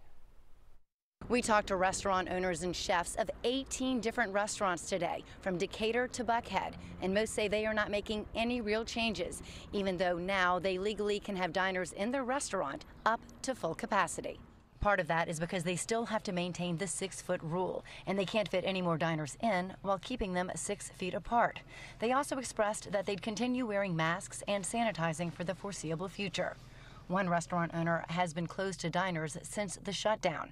Robbie Kukler says they've been gearing up to open up La Tavola, South City Kitchen, and Alma Cocina on Wednesday the 17th all along and will stick with that plan. Then they will stagger opening any further. It will depend on uh, demand and how what people are saying and feeling and how many people want to eat out. Um, my first step is to have all of our restaurants filling every seat we can at this capacity. And if that's the case and it's happening regularly, that will tell me that more people are ready and willing to go out to eat and we'll expand our capacity. I talked to executive chef Anne Quatrano of Bacchanalia, and she says she's even still requiring her kitchen staff to wear masks. She says that she knows that it's hot, but they're dealing with food and the front staff, so she says it's the safest bet for now. New tonight, a possible breakthrough treatment for the coronavirus. Scientists in England say a steroid called dexamethasone greatly improves survival in patients with severe COVID-19. Researchers called the study promising. It was released today. The drug is not expensive and even in low doses reduced deaths by a third among patients on ventilators.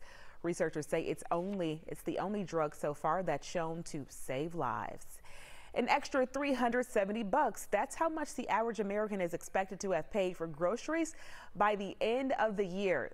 I feel like it's like a $1,000. Grocery bills have spiked as the coronavirus continues to roil supermarket supply chains. According to the Consumer Price Index, food prices went up 0.7% last month after jumping 1.5% in April. New Nielsen data shows that nationwide prices for staples such as eggs and ground beef are on the rise with higher prices in those specific cities. You're on the road. When you see police lights in your rearview mirror, that's when Siri can help, according to a viral claim. Next, our Verified team gives you the facts. A little unusual, an upper level low this time of year swirling to our east, bringing in those clouds and those cooler temperatures today. So coming up, how long this pattern is going to be hanging around and what you can expect for Father's Day weekend, which also happens to be the first weekend of summer. Or altered taste can be a symptom. We answer your coronavirus related medical questions. Because 11 Alive is where Atlanta speaks televised newscasts not enough for you? Get even more at 11 Alive's YouTube channel, where you'll find uncut interviews, extended body cam footage, live streams of Atlanta's biggest trials, and more. Subscribe to 11 Alive today.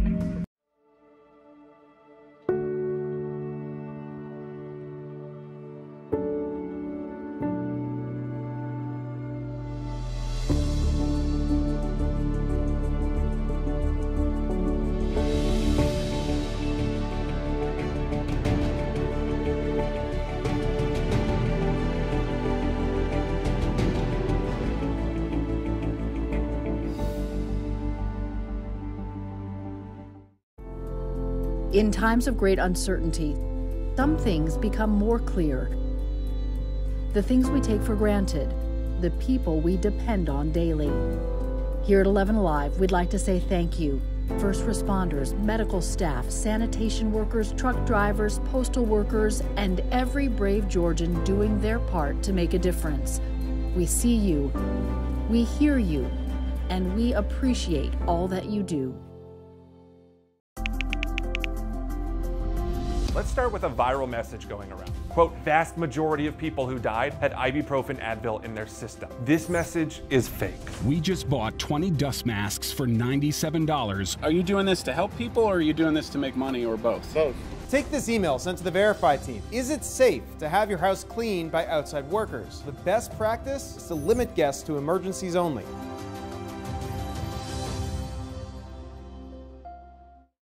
We know things are changing every day, but we're here with you. Continuous COVID 19 coverage during prime time. We're committed to giving you facts, not fear. On 11 Alive News Prime Time, weeknights from 8 to 11 on WATL. There are everyday actions to help prevent the spread of respiratory diseases. Wash your hands. Avoid close contact with people who are sick. Avoid touching your eyes, nose, and mouth. Stay home when you are sick.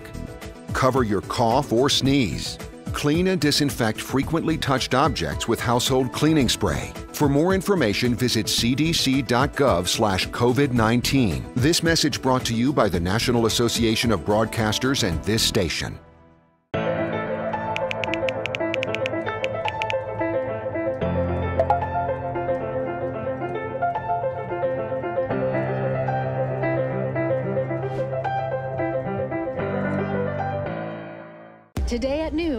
11 Alive.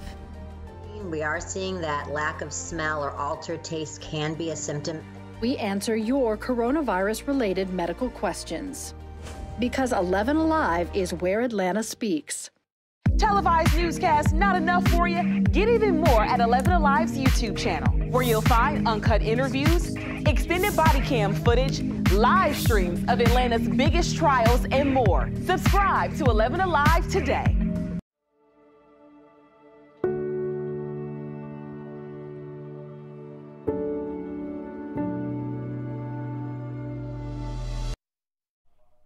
Neighborhood near Capitol Hill in Seattle has all eyes fixed on it after Black Lives Matter protesters took over entire blocks, including the East Police Precinct.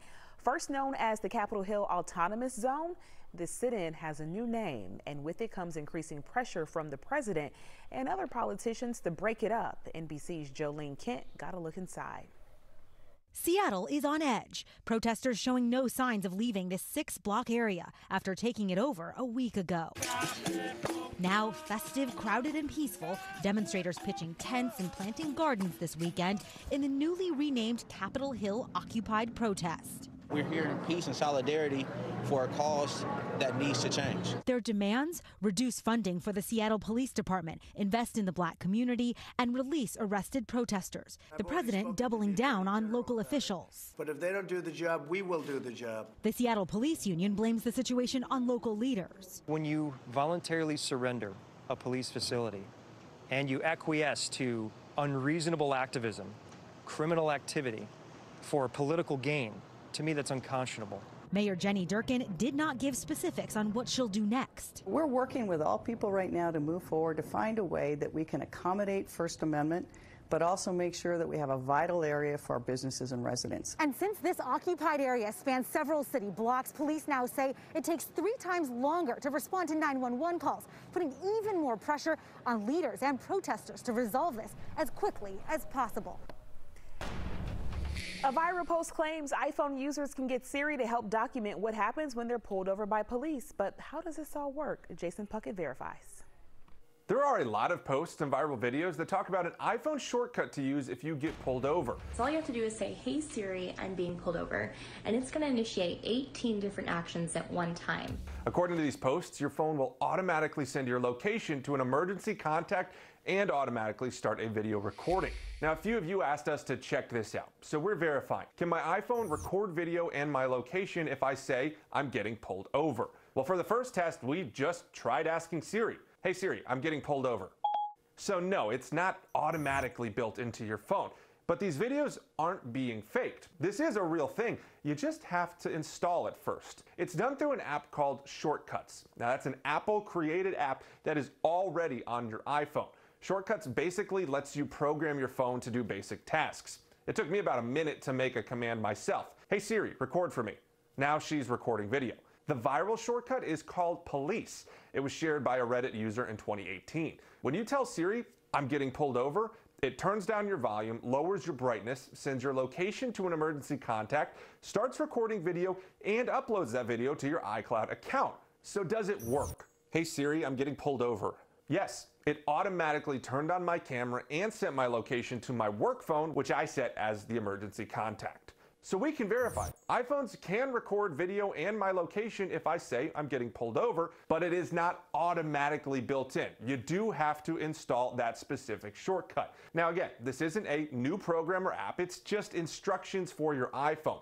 And it lets you choose which contacts, if any, that it will send information to. This doesn't work on Android phones, but iPhone users can find a link for how to install this on our website. And if you have other questions like this, make sure you send us an email. Of course, our days have gotten longer. Sunset now is right around 10 till 9, and that's when Blake Rabb uh, captured this picture in Carrollton from his drone of the sunset. Just a few clouds at that time as it looked to the west and the sun was going down. But now a few showers are heading towards Carroll County. Very light. They are on the light side, but don't be surprised if you hear a few raindrops starting to fall very shortly there in Carrollton. Definitely the clouds have increased there. And this area of showers is been working its way across North Georgia and now in towards uh, the I-20 West Georgia area and during the last few hours. And most of the rain has been very light, but there have been some isolated, just embedded heavier downpours there like you see near Cedartown. So we'll continue to watch that as it works its way from north to south during the evening hours. As these showers work their way through Jasper, Jerry Rogers noticed this really cool cloud. I don't know if it's from the rain-cooled air or what, but it almost looked like a little pink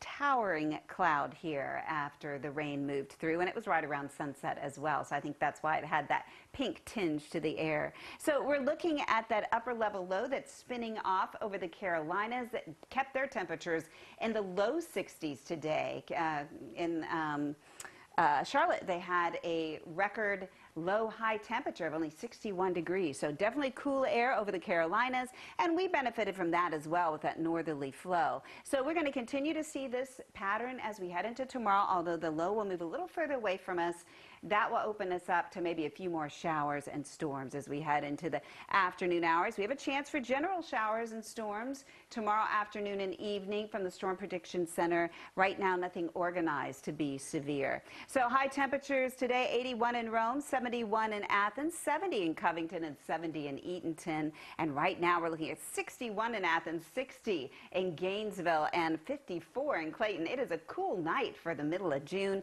Overnight, we'll get into the upper 50s. 50s, and tomorrow we'll make it into the mid 70s with just a few afternoon and evening thunder showers expected. A 30% chance of that tomorrow. So here's the timing. There are those showers we're tracking right now. Moving to the south, we'll see a few clouds out there in the morning, and then we'll end up seeing some isolated showers popping up after lunch, right around 2, 3 o'clock in the afternoon. Maybe an isolated heavier downpour. We could still see an isolated thunderstorm or two as we head into the afternoon hours. A 30% chance on Wednesday, and then a 40% chance on Thursday. Just a little better coverage on Thursday. And then into Friday as well, as that low starts to spin off of the coastline, we'll have to watch it for potential tropical development over this coming weekend. And of course, it's a big weekend, the first weekend of summer. Summer solstice is Saturday, and we should have our first 90 degree temp of the year. Father's Day. We may even be a little warmer than that in the low 90s and a mostly dry Father's Day weekend with rain leading up to it and rain coming back at us at the beginning of next week.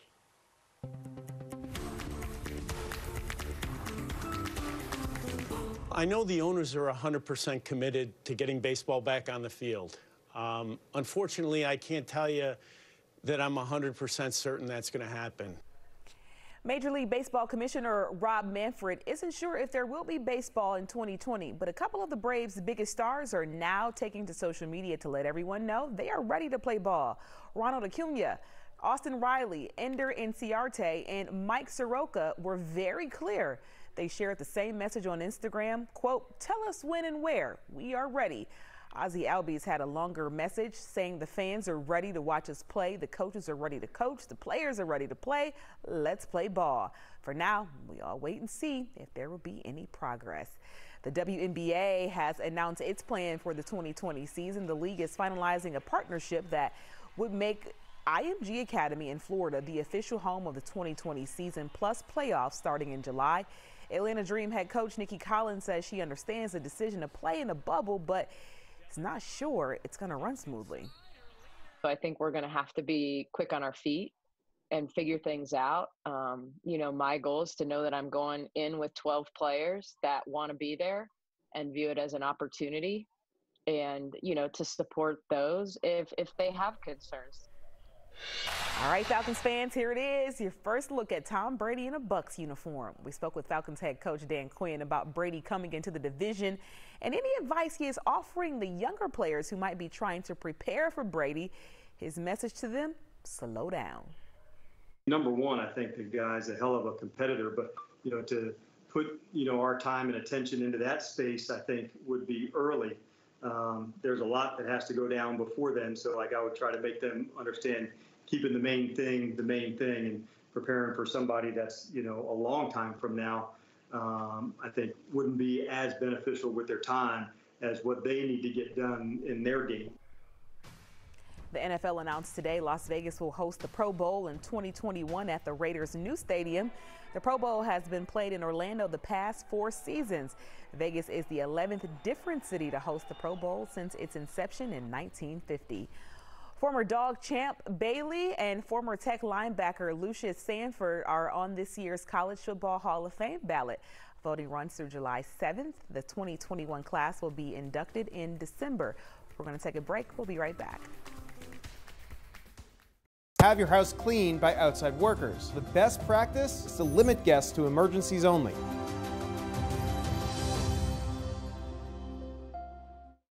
We know things are changing every day, but we're here with you. Continuous COVID 19 coverage during prime time. We're committed to giving you facts, not fear. On 11 Alive News Prime Time, weeknights from 8 to 11 on WATL. There are everyday actions to help prevent the spread of respiratory diseases. Wash your hands. Avoid close contact with people who are sick. Avoid touching your eyes, nose, and mouth. Stay home when you are sick. Cover your cough or sneeze. Clean and disinfect frequently touched objects with household cleaning spray. For more information, visit cdc.gov/covid19. This message brought to you by the National Association of Broadcasters and this station.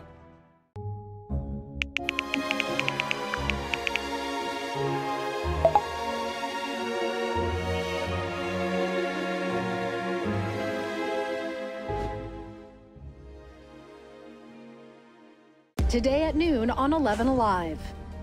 We are seeing that lack of smell or altered taste can be a symptom. We answer your coronavirus related medical questions. Because 11 Alive is where Atlanta speaks. Televised newscast not enough for you? Get even more at 11 Alive's YouTube channel, where you'll find uncut interviews, extended body cam footage, live streams of Atlanta's biggest trials, and more. Subscribe to 11 Alive today.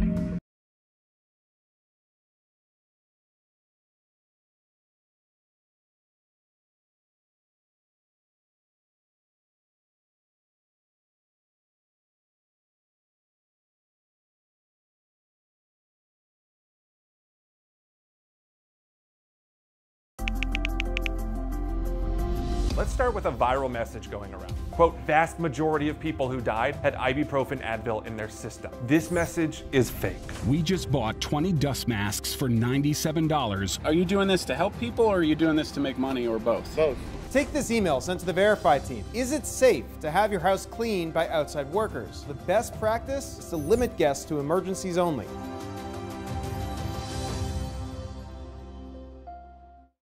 We know things are changing every day, but we're here with you.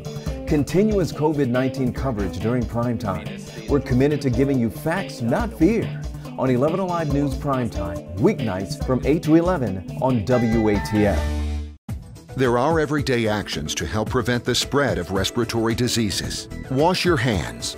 Avoid close contact with people who are sick. Avoid touching your eyes, nose, and mouth. Stay home when you are sick. Cover your cough or sneeze. Clean and disinfect frequently touched objects with household cleaning spray. All right, that's going to do us here for 11 Alive News in prime time. Stick around. We'll see you over on 11 Alive at 11 p.m. for Up Late.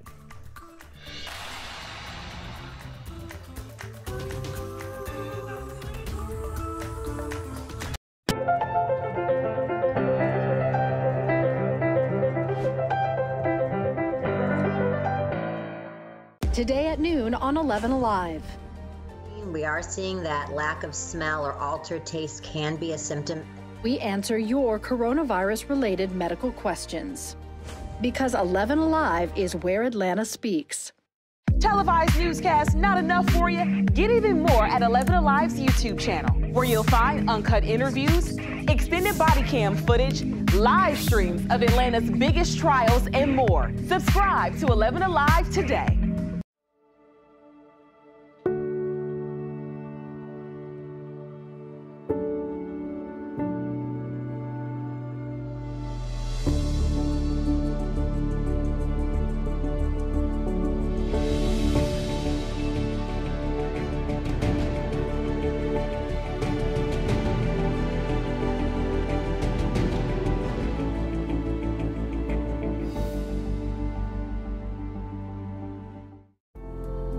In times of great uncertainty, some things become more clear. The things we take for granted, the people we depend on daily. Here at 11 Alive, we'd like to say thank you. First responders, medical staff, sanitation workers, truck drivers, postal workers, and every brave Georgian doing their part to make a difference. We see you, we hear you, and we appreciate all that you do. Start with a viral message going around. Quote, vast majority of people who died had ibuprofen Advil in their system. This message is fake. We just bought 20 dust masks for $97. Are you doing this to help people or are you doing this to make money or both? Both.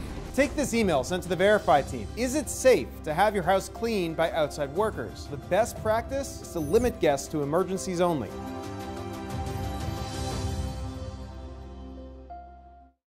We know things are changing every day, but we're here with you. Continuous COVID 19 coverage during prime time. We're committed to giving you facts, not fear. On 11 Alive News Prime Time, weeknights from 8 to 11 on WATL. There are everyday actions to help prevent the spread of respiratory diseases. Wash your hands. Avoid close contact with people who are sick. Avoid touching your eyes, nose, and mouth. Stay home when you are sick. Cover your cough or sneeze. Clean and disinfect frequently touched objects with household cleaning spray. For more information, visit cdc.gov/covid19. This message brought to you by the National Association of Broadcasters and this station.